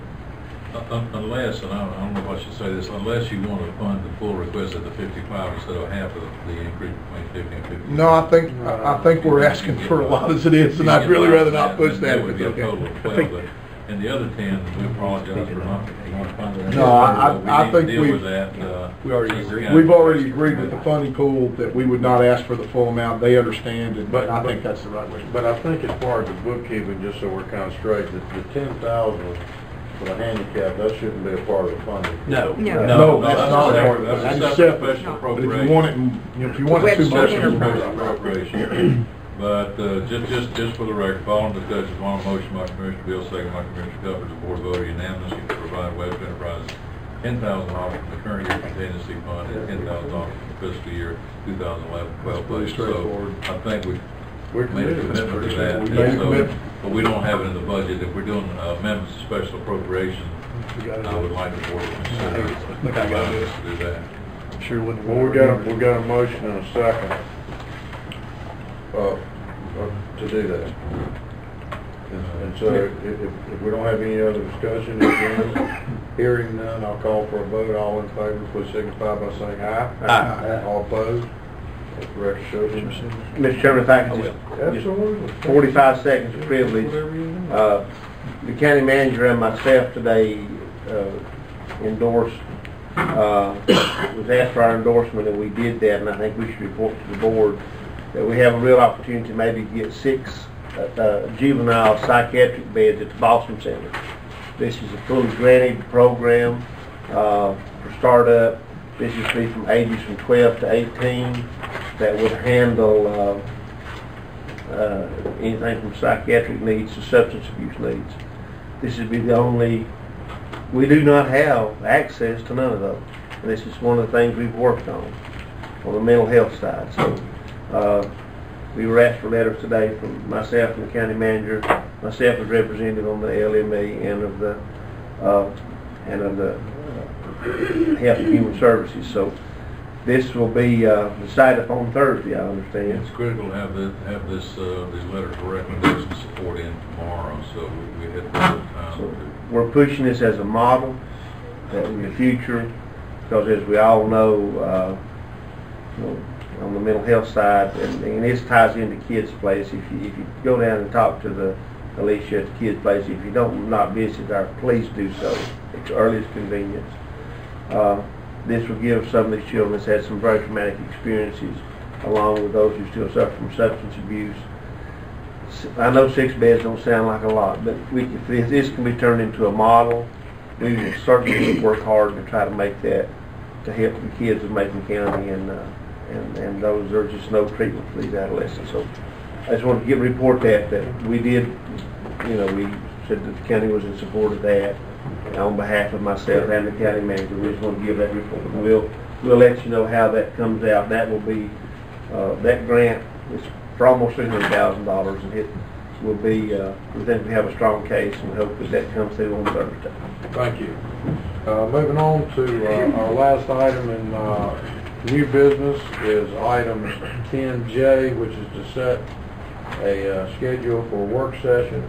Um, this has to do with, uh, gathering the rest of the information we need to try and make an informed decision, uh, regarding what our scheduling may be for our, uh, next reval. And so gentlemen, if you all look at your schedules, and, and, uh, I think we, it's, it's kind of incumbent upon us, I believe, to do this sometime in September, because depending on what our, uh, decision is, after we've looked at all the information and discussed it, uh, the, uh, tax office will need to move forward in some form. Uh, I'm willing to entertain any, any times you guys, what's, would you rather do it on a weekend, weeknight? You want to do it in the evening or? I'd, I'd rather do it, if it's possible, do it in the evening or weeknight. Kevin, Wednesday's bad. Evening, week, Yeah. weeknight. Probably, what's your best night? It's not Wednesday. Monday to Thursday. Monday. And, uh, Monday to Thursday. Is Monday's your best night? Mon- Monday Monday's works good to great me, for me. Thursday, Yeah. Thursdays too. Monday or Thursday, guys? Uh, the nineteenth is next Monday, Yeah, is that right? The twenty, twenty-six is I- region. Twenty-six got region eight. twenty-sixth is. I can't, Monday. I can't do the nineteenth. Can't do the nineteenth. Oh, you gotta tell them. You know, I can't never make my calendar go up when I'm Yeah, talking. yeah. Nineteenth, twenty, nineteenth, twenty-sixth, Twenty-second, is that Thursday. I can do it then. Twenty-second. Twenty-second, look good? I can do it then. What is that, what's that? It's on Thursday. Thursday night. Thursday night, Thursday evening. Well, Thursday night football? Think we can start at, there's Thursday night football game, and I don't need to be. we start at, what time, we start at five o'clock? He can't do it. Uh, yeah, yeah. Because we're gonna have, the reason I'm asking, because we're gonna have several from the county employees here. Yeah. Uh, Tax Start at assessor five put o'clock. I together. mean, I'll be here right at five, just shortly after, so start at five. Tax assessor Just put short. together some good information, PowerPoint Very good, presentation, short, background. Good. So we should be. That's on the twenty-second? What, Ron? What Uh, was- I can be back by five o'clock. I've got. You gonna do five No, thirty? five- five thirty. Let's do five thirty. We're- Five thirty. Five, five thirty would help me. Five thirty. I gotta be in Asheville. That helps me too. I gotta be in Asheville as chairman of the, as the finance committee on that 5:30. LME, yeah, Five thirty, six. five thirty. Five thirty. I'll leave work four thirty. All right, so Five thirty on Thursday. Five thirty on Thursday, September the twenty-second, is that right? Twenty-second, my God, it is. And, uh, we'll meet here, five West Main Street, in You boardroom. just recess it at the end. And, Yeah, so we'll, do- we'll recess, There you and be a go. continuation. Bob West Main Street. Okay. Commissioner? And with, with the, uh, and we can take up other items if we'd like to, since we're recessing. Absolutely. But our, but our, but our intent, unless something's very pressing, is to, is just to hold, hold the agenda to the, uh, reval. Because I think it'll take us a good while to get through that. It will take you a while. Okay. All right, thank you, guys. Okay, uh, moving on, we'll go now to the consent agenda. Gentlemen, in your package, you have that. If you take just a moment, if you haven't already. We did start at five thirty, right? Five, Five five. thirty. Um, and I'll, and I'll make sure I'll get behind Mr. Slow Uh, we'll look over the minutes if you haven't already. Uh,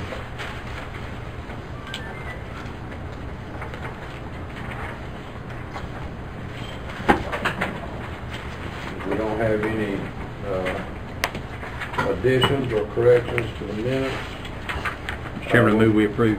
We gotta go. We're You gonna gotta do the whole- Oh, you're not doing that? Oh, okay, Yeah. sorry, sorry, sorry. Uh, we'll go to budget revisions, Ms. Southard. She's got some here plus two additions. Yes, I have two to add. We take one pack. Yeah. There you Yes. go. Yeah.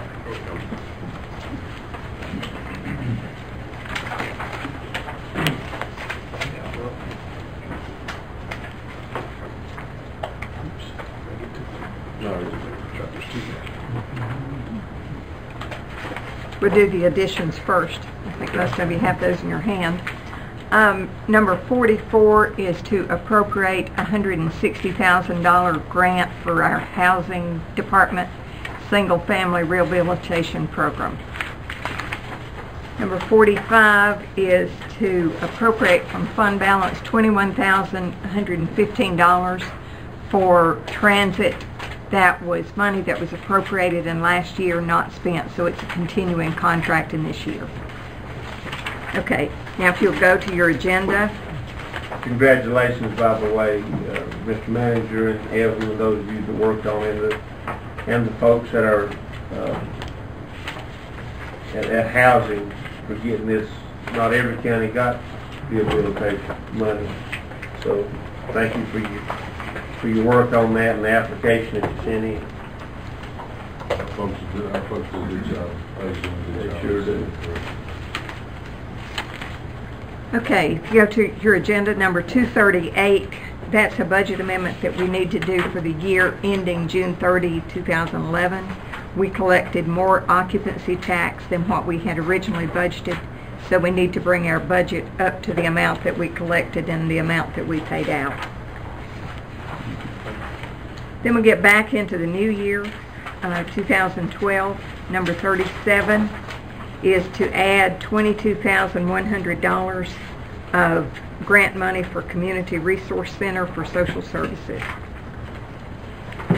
Number 38 is to appropriate additional uh, crisis funding for social services and a LEAP allocation of 46,139. These are all um, state. Number 39 is to appropriate the balance that we have in the state and federal forfeiture money that comes through the sheriff's department. These are the balances that we had left at June 30, 2011. We need to carry those forward into the new year. Number 40. This is an additional grant that we received from, that the Airport Authority received from Department of Aviation to complete the runway extension project. The grant piece is $782,519. The match on that is 86, almost $87,000. In the capital project fund, left over from grants that we've matched and did not expand all the grant, we've got 44,500 in the capital project fund that we can use toward the match for this grant. But we need another $42,447 to come from general fund to, to make that match. Do we not have that in the budget? No, we did not. What we put in the budget was $16,667 to match a $150,000 grant. So that's separate from this one. Okay, so this does, the forty-two, four forty-seven does come out of our contingency. Yes, it will. Okay. Yes. Number 41, if you remember, the Board of Education allocated $65,300 to the Nantahala uh, QZAB project, and then uh, we decided to use that for another purpose, so we just want to fix that budget to take that 65,300 out, and we can take it out of those individual line items. Number 42 is another housing grant. This is weatherization. Um, there, are, there are three revenue line items in this budget amendment that total $211,889. There's no county money in that. It's all uh, grant money. And that's all.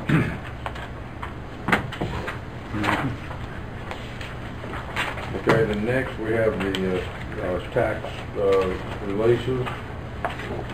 Mr. Manager, you want to speak to that? I think board members can have a chance to look at it. You can see most of these uh, releases are from clerical adjustments. And they've been all reviewed, recommended by the tax assessor. Very good. There's also a, uh, There was one refund, if I'm not mistaken, on there. There's a refund on there too, so. Four one six five. Okay. Okay, and then next we have approval of fee changes at uh, Macon County Public Health. As the uh, board recalls, uh, right before budget was adopted this year, uh, maybe about, about that time, uh, there was a recommendation from the health director and the board of health to uh, update the uh, fees charged by the health department. And the board uh, approved those at the time.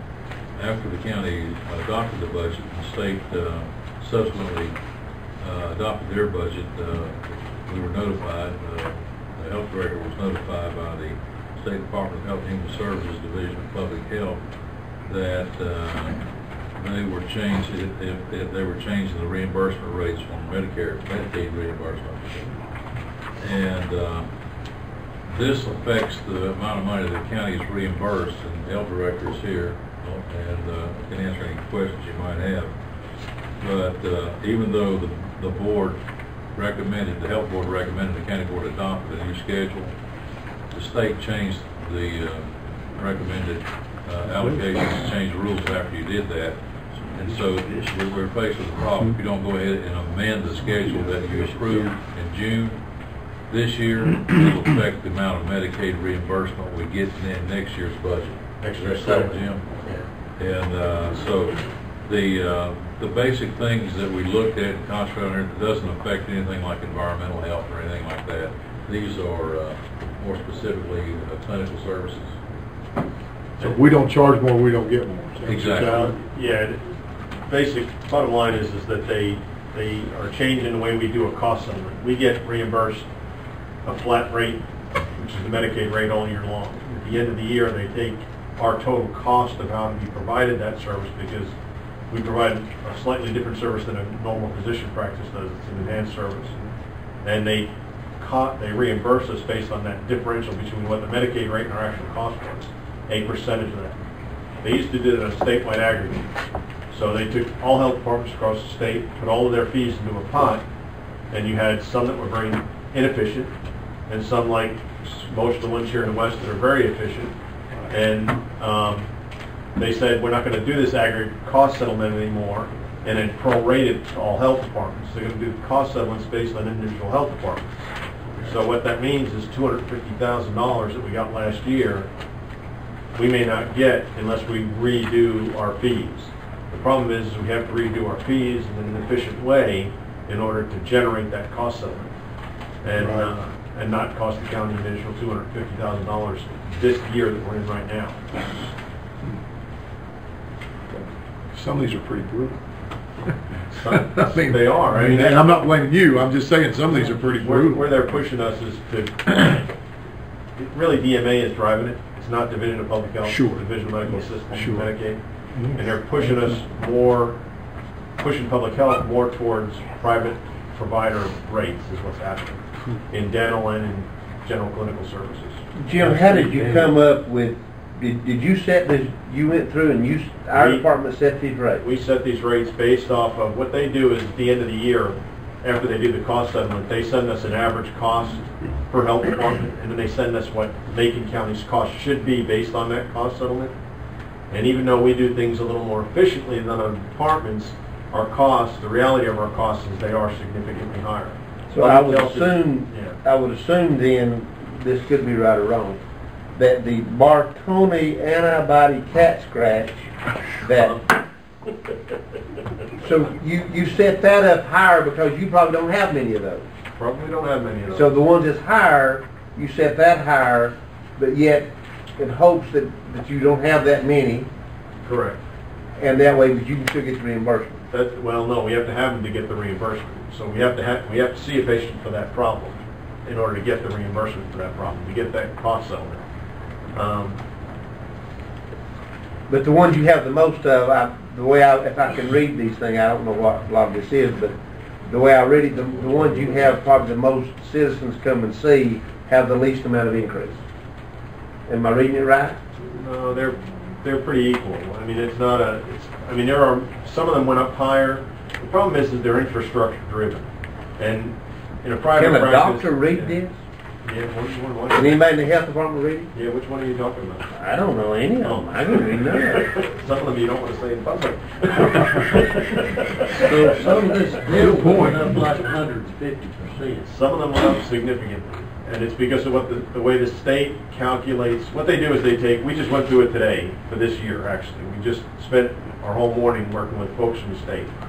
They take all of our costs per program, and then they, they have a formula they apply to those costs per program that takes it back to the cost per service within that program. We took that sheet that they gave us, looked at what we actually have invested in the program, like child health. We have, I, I don't know the exact dollar amount, let's say eighty thousand dollars invested in child health a year. If we only see twenty kids this year, that's a pretty hefty visit cost.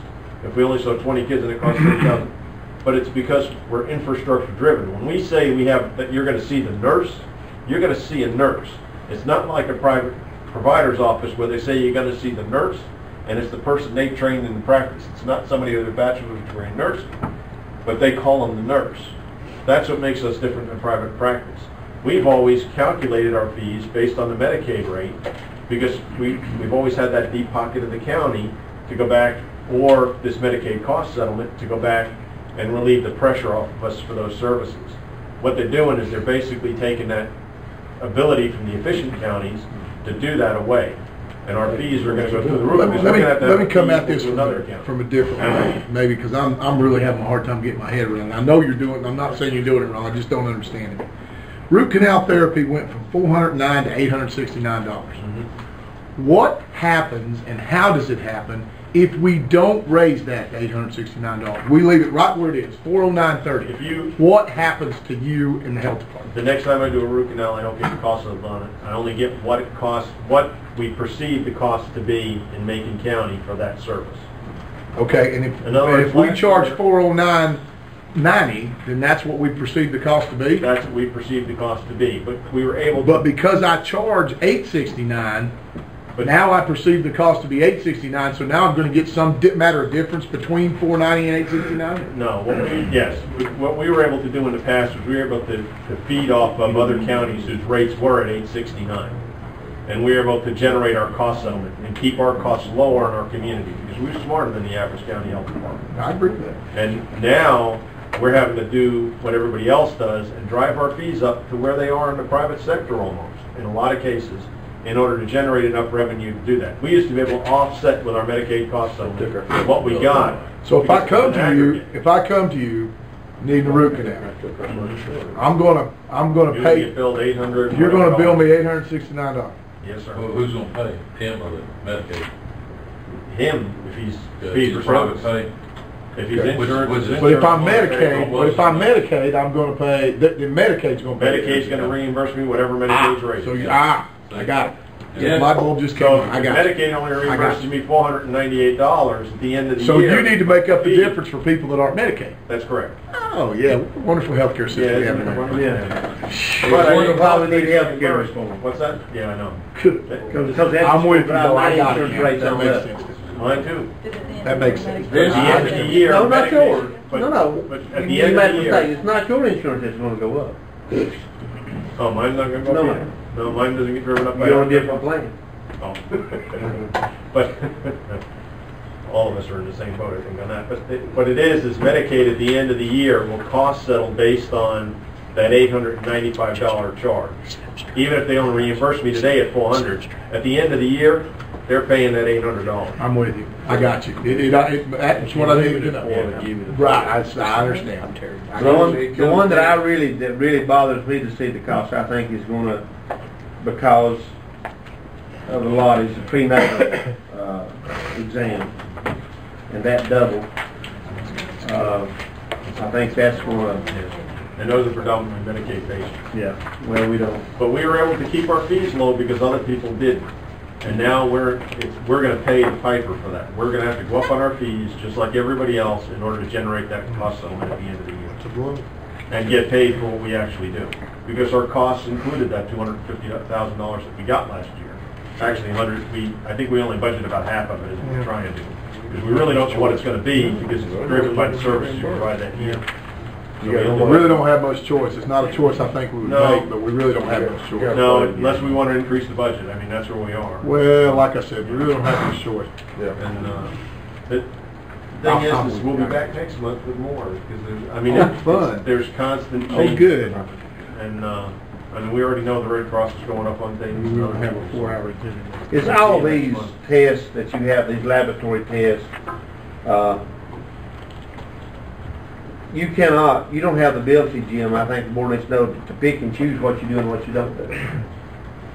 In some, not necessarily, yeah. We, we do in some cases. In some cases, we do things within the community because we know that the cost in the community is significantly higher than we can get it for. Have you ever done a study of the numbers to see the ones that you got, you got a, you got a current expense for them, and the ones that, that are serving very few people that we can eliminate? Have you done um, that study? We have looked at, we've eliminated a lot of lab fees. We allotted, and, and we did it last year before the, not this. Do you know how much year, money that last was? year. No, I couldn't tell you off the top of my head, but the problem is, is that there's, we do, I want to be careful how I say this, we do it significantly cheaper than Angel Medical Center. We don't even send, we send very few labs to Angel. We do all of our labs through a private company, uh, and, and they come and pick them up and they deliver us the result on a, on a computer in our, in our lab. Um, so when it comes to some of the labs, and don't, I'm not the clinical person, but labs around some of the chemotherapy and some of the other things people do, it is significantly higher if they get it done through the hospital. You know, And the health department has always kind of been the safety net for those people that can't afford those hospital rates. Now, is that part of our assurance function? Not necessarily. But it's something that they've done in this community for a long time. Those labs are still gonna be cheaper than what you get in the hospital. You know, I'm, I'm not sure, but I, I, well, I am sure of this. I know that like Highlands Hospital, they have somebody that comes and picks up their samples. It's the same to- people we utilize. Okay. Yeah, it's the same company Because utilize. I happen to know somebody personally that runs, that, that is a courier for them. And that's a bid out, sir. How we come along, we, the county had asked you to start bidding these things out too, but how we working on, it? are we start making progress on that? What do you mean, man? Well, we, there was two or three items that we had talked about bidding out for, at the health department, that was not coming through the regular bidding process through the county. It's still right where it was. Nothing has changed. So where are we at on that? We got another discussion about it in quite a while. Uh, I don't know, I think the, uh, the, the issue was about, uh, a company that provided both medical supplies and office supplies, and I can't recall the name of the company. So it had nothing to do with the, the- the lab? Yeah, it doesn't have anything to do with this. This is- No. Well, this actually, it was- everything we do, it- all of our costs, we, we do participate with a purchasing company. And that purchasing company does the bidding for us. They go out and they solicit. But three we, bids. I think we directed to come through the county, did we not? I think we directed all that should come through the county, best of my recollection, like every other department does. And does this lab, what I'm asking is just, does this lab come through the county? No, we don't bid that. No, no, you don't bid, No. that- they don't bid. We don't, yeah. we don't do No. that. Oh, we The don't. county, the county doesn't bid any of the stuff that we're doing through the health department currently. It doesn't. That goes back to the premier purchasing agreement. I wouldn't be no Sure other it can. county mayors, but sure, that's what I asked. That's what. I'm confused totally. Because I, I, I could have sworn that we said that we would certainly do that. Am I right or wrong? My-? It was my understanding, best I can remember, um, I think we had that discussion at this, at a meeting here on a Friday, and I was gonna be gone on vacation the next week. And I think you were gonna meet with Jack, and y'all were gonna discuss it and give us a directive.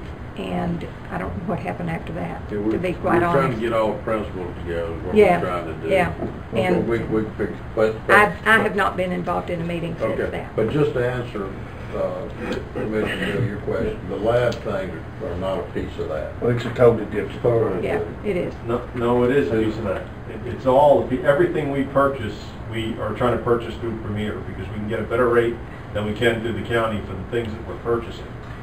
Yeah, but I'm saying no other health, uh, boards in the other counties, they all do this the same way. They don't go through their, uh, county to, to always Right, yeah. purchase the lab work. No, the per, the county has never purchased our medical supplies and, Right. and the reason, and it, and it all goes back to the purchasing agreement issue of who can sign a purchasing agreement, who can't within a county. And another issue completely separate. Um, but all of the, we do purchase a lot of stuff through the Premier agreement that we have. And it's, it's lab supplies, it's medical supplies, it's our shredding contract. Um, we can get our, if we wanted to change, if we could do it and change our cell phone contract, I can get our cell phone contract five percent less than we pay with the county today. Um, we're trying to save a dollar, and that's the objective. It's not trying to skirt any system or any of the other things that people might perceive somewhere. I mean, for example, Premier, they do, almost every county, they do all the lab, all the purchasing. Well, La- LabCorp does, but LabCorp is one of the three vendors that I can choose from through Premier. I can choose from any Premier, three Premier vendors. is like, is like a company that contracts and, and gets discounts. Volume. You can buy it straight from the company and pay a higher price, you can buy it through Premier and get the same product for less than what you Because buy they deal in directly. raw volume. So And they basically, they've gone out and negotiated rates. They've Yeah, negotiated. and, and it's the same, it's, when we talk about purchasing Premier, Premier is like joining Sam's Club. You're still buying from Del Monte. Yeah. We're still buying from General Medical, we're still buying from LabCorp, we're still buying from the same office supply company that you're buying office supplies from. Right. Except I'm getting cheaper. Right, because you got purchasing. Because I have the purchasing power of, of two hundred and seventy-five organizations, Okay. mostly hospitals. All right. Thank you. Uh, item eleven F is a resolution uh, supporting the addition of Burningtown Church Road. It's a fraction of a mile, a small fraction. Turning that over to, Yeah, the state, the state, require- anytime you add a, add a uh, secondary road to the state system, they want the county commissioners to pass a resolution asking them to take it over. Normally you do that and then they come out and do an investigation, but we got a letter from the district There it is. engineer who said he's already done that and does qualify for the state system, so he's asking the board to go ahead and pass a resolution allowing them to add it to the state system. Burton County Church. uh, so road. so that's a, for, okay, that's, that's the, uh, the last item we have on the consent agenda. Uh, do we have a motion to accept the agenda? as- So- so moved. We got a motion, we have a second? Second. Got a motion, a second. All in favor, please signify by saying aye. Aye. Opposed? Weak eye. I know. Okay. All right, uh, I don't think we have any appointments, do we, gentlemen? If not, we'll go into closed session, uh, for attorney-client privilege. And do we expect, uh, to have any information coming out of this? I don't think so. I don't think there'll be any action. So, you guys will. See the smiles from press rather there. They're happy about that. And, and, uh, They're going home, we can't yet. and I'll, I'll, I won't recess when we come back out of the That's closed it. session. That's right. All right. Thank y'all. Mr. Chairman, Do, good motion, second. yeah, we do need to make a motion. Oh, oh, There you oh, go. Let's go Second. closed session, attorney-client privilege. We got a motion, and a second. All in favor? Say aye. I picked up that. You can train them, you just can't keep them trained. Yeah, yeah, yeah.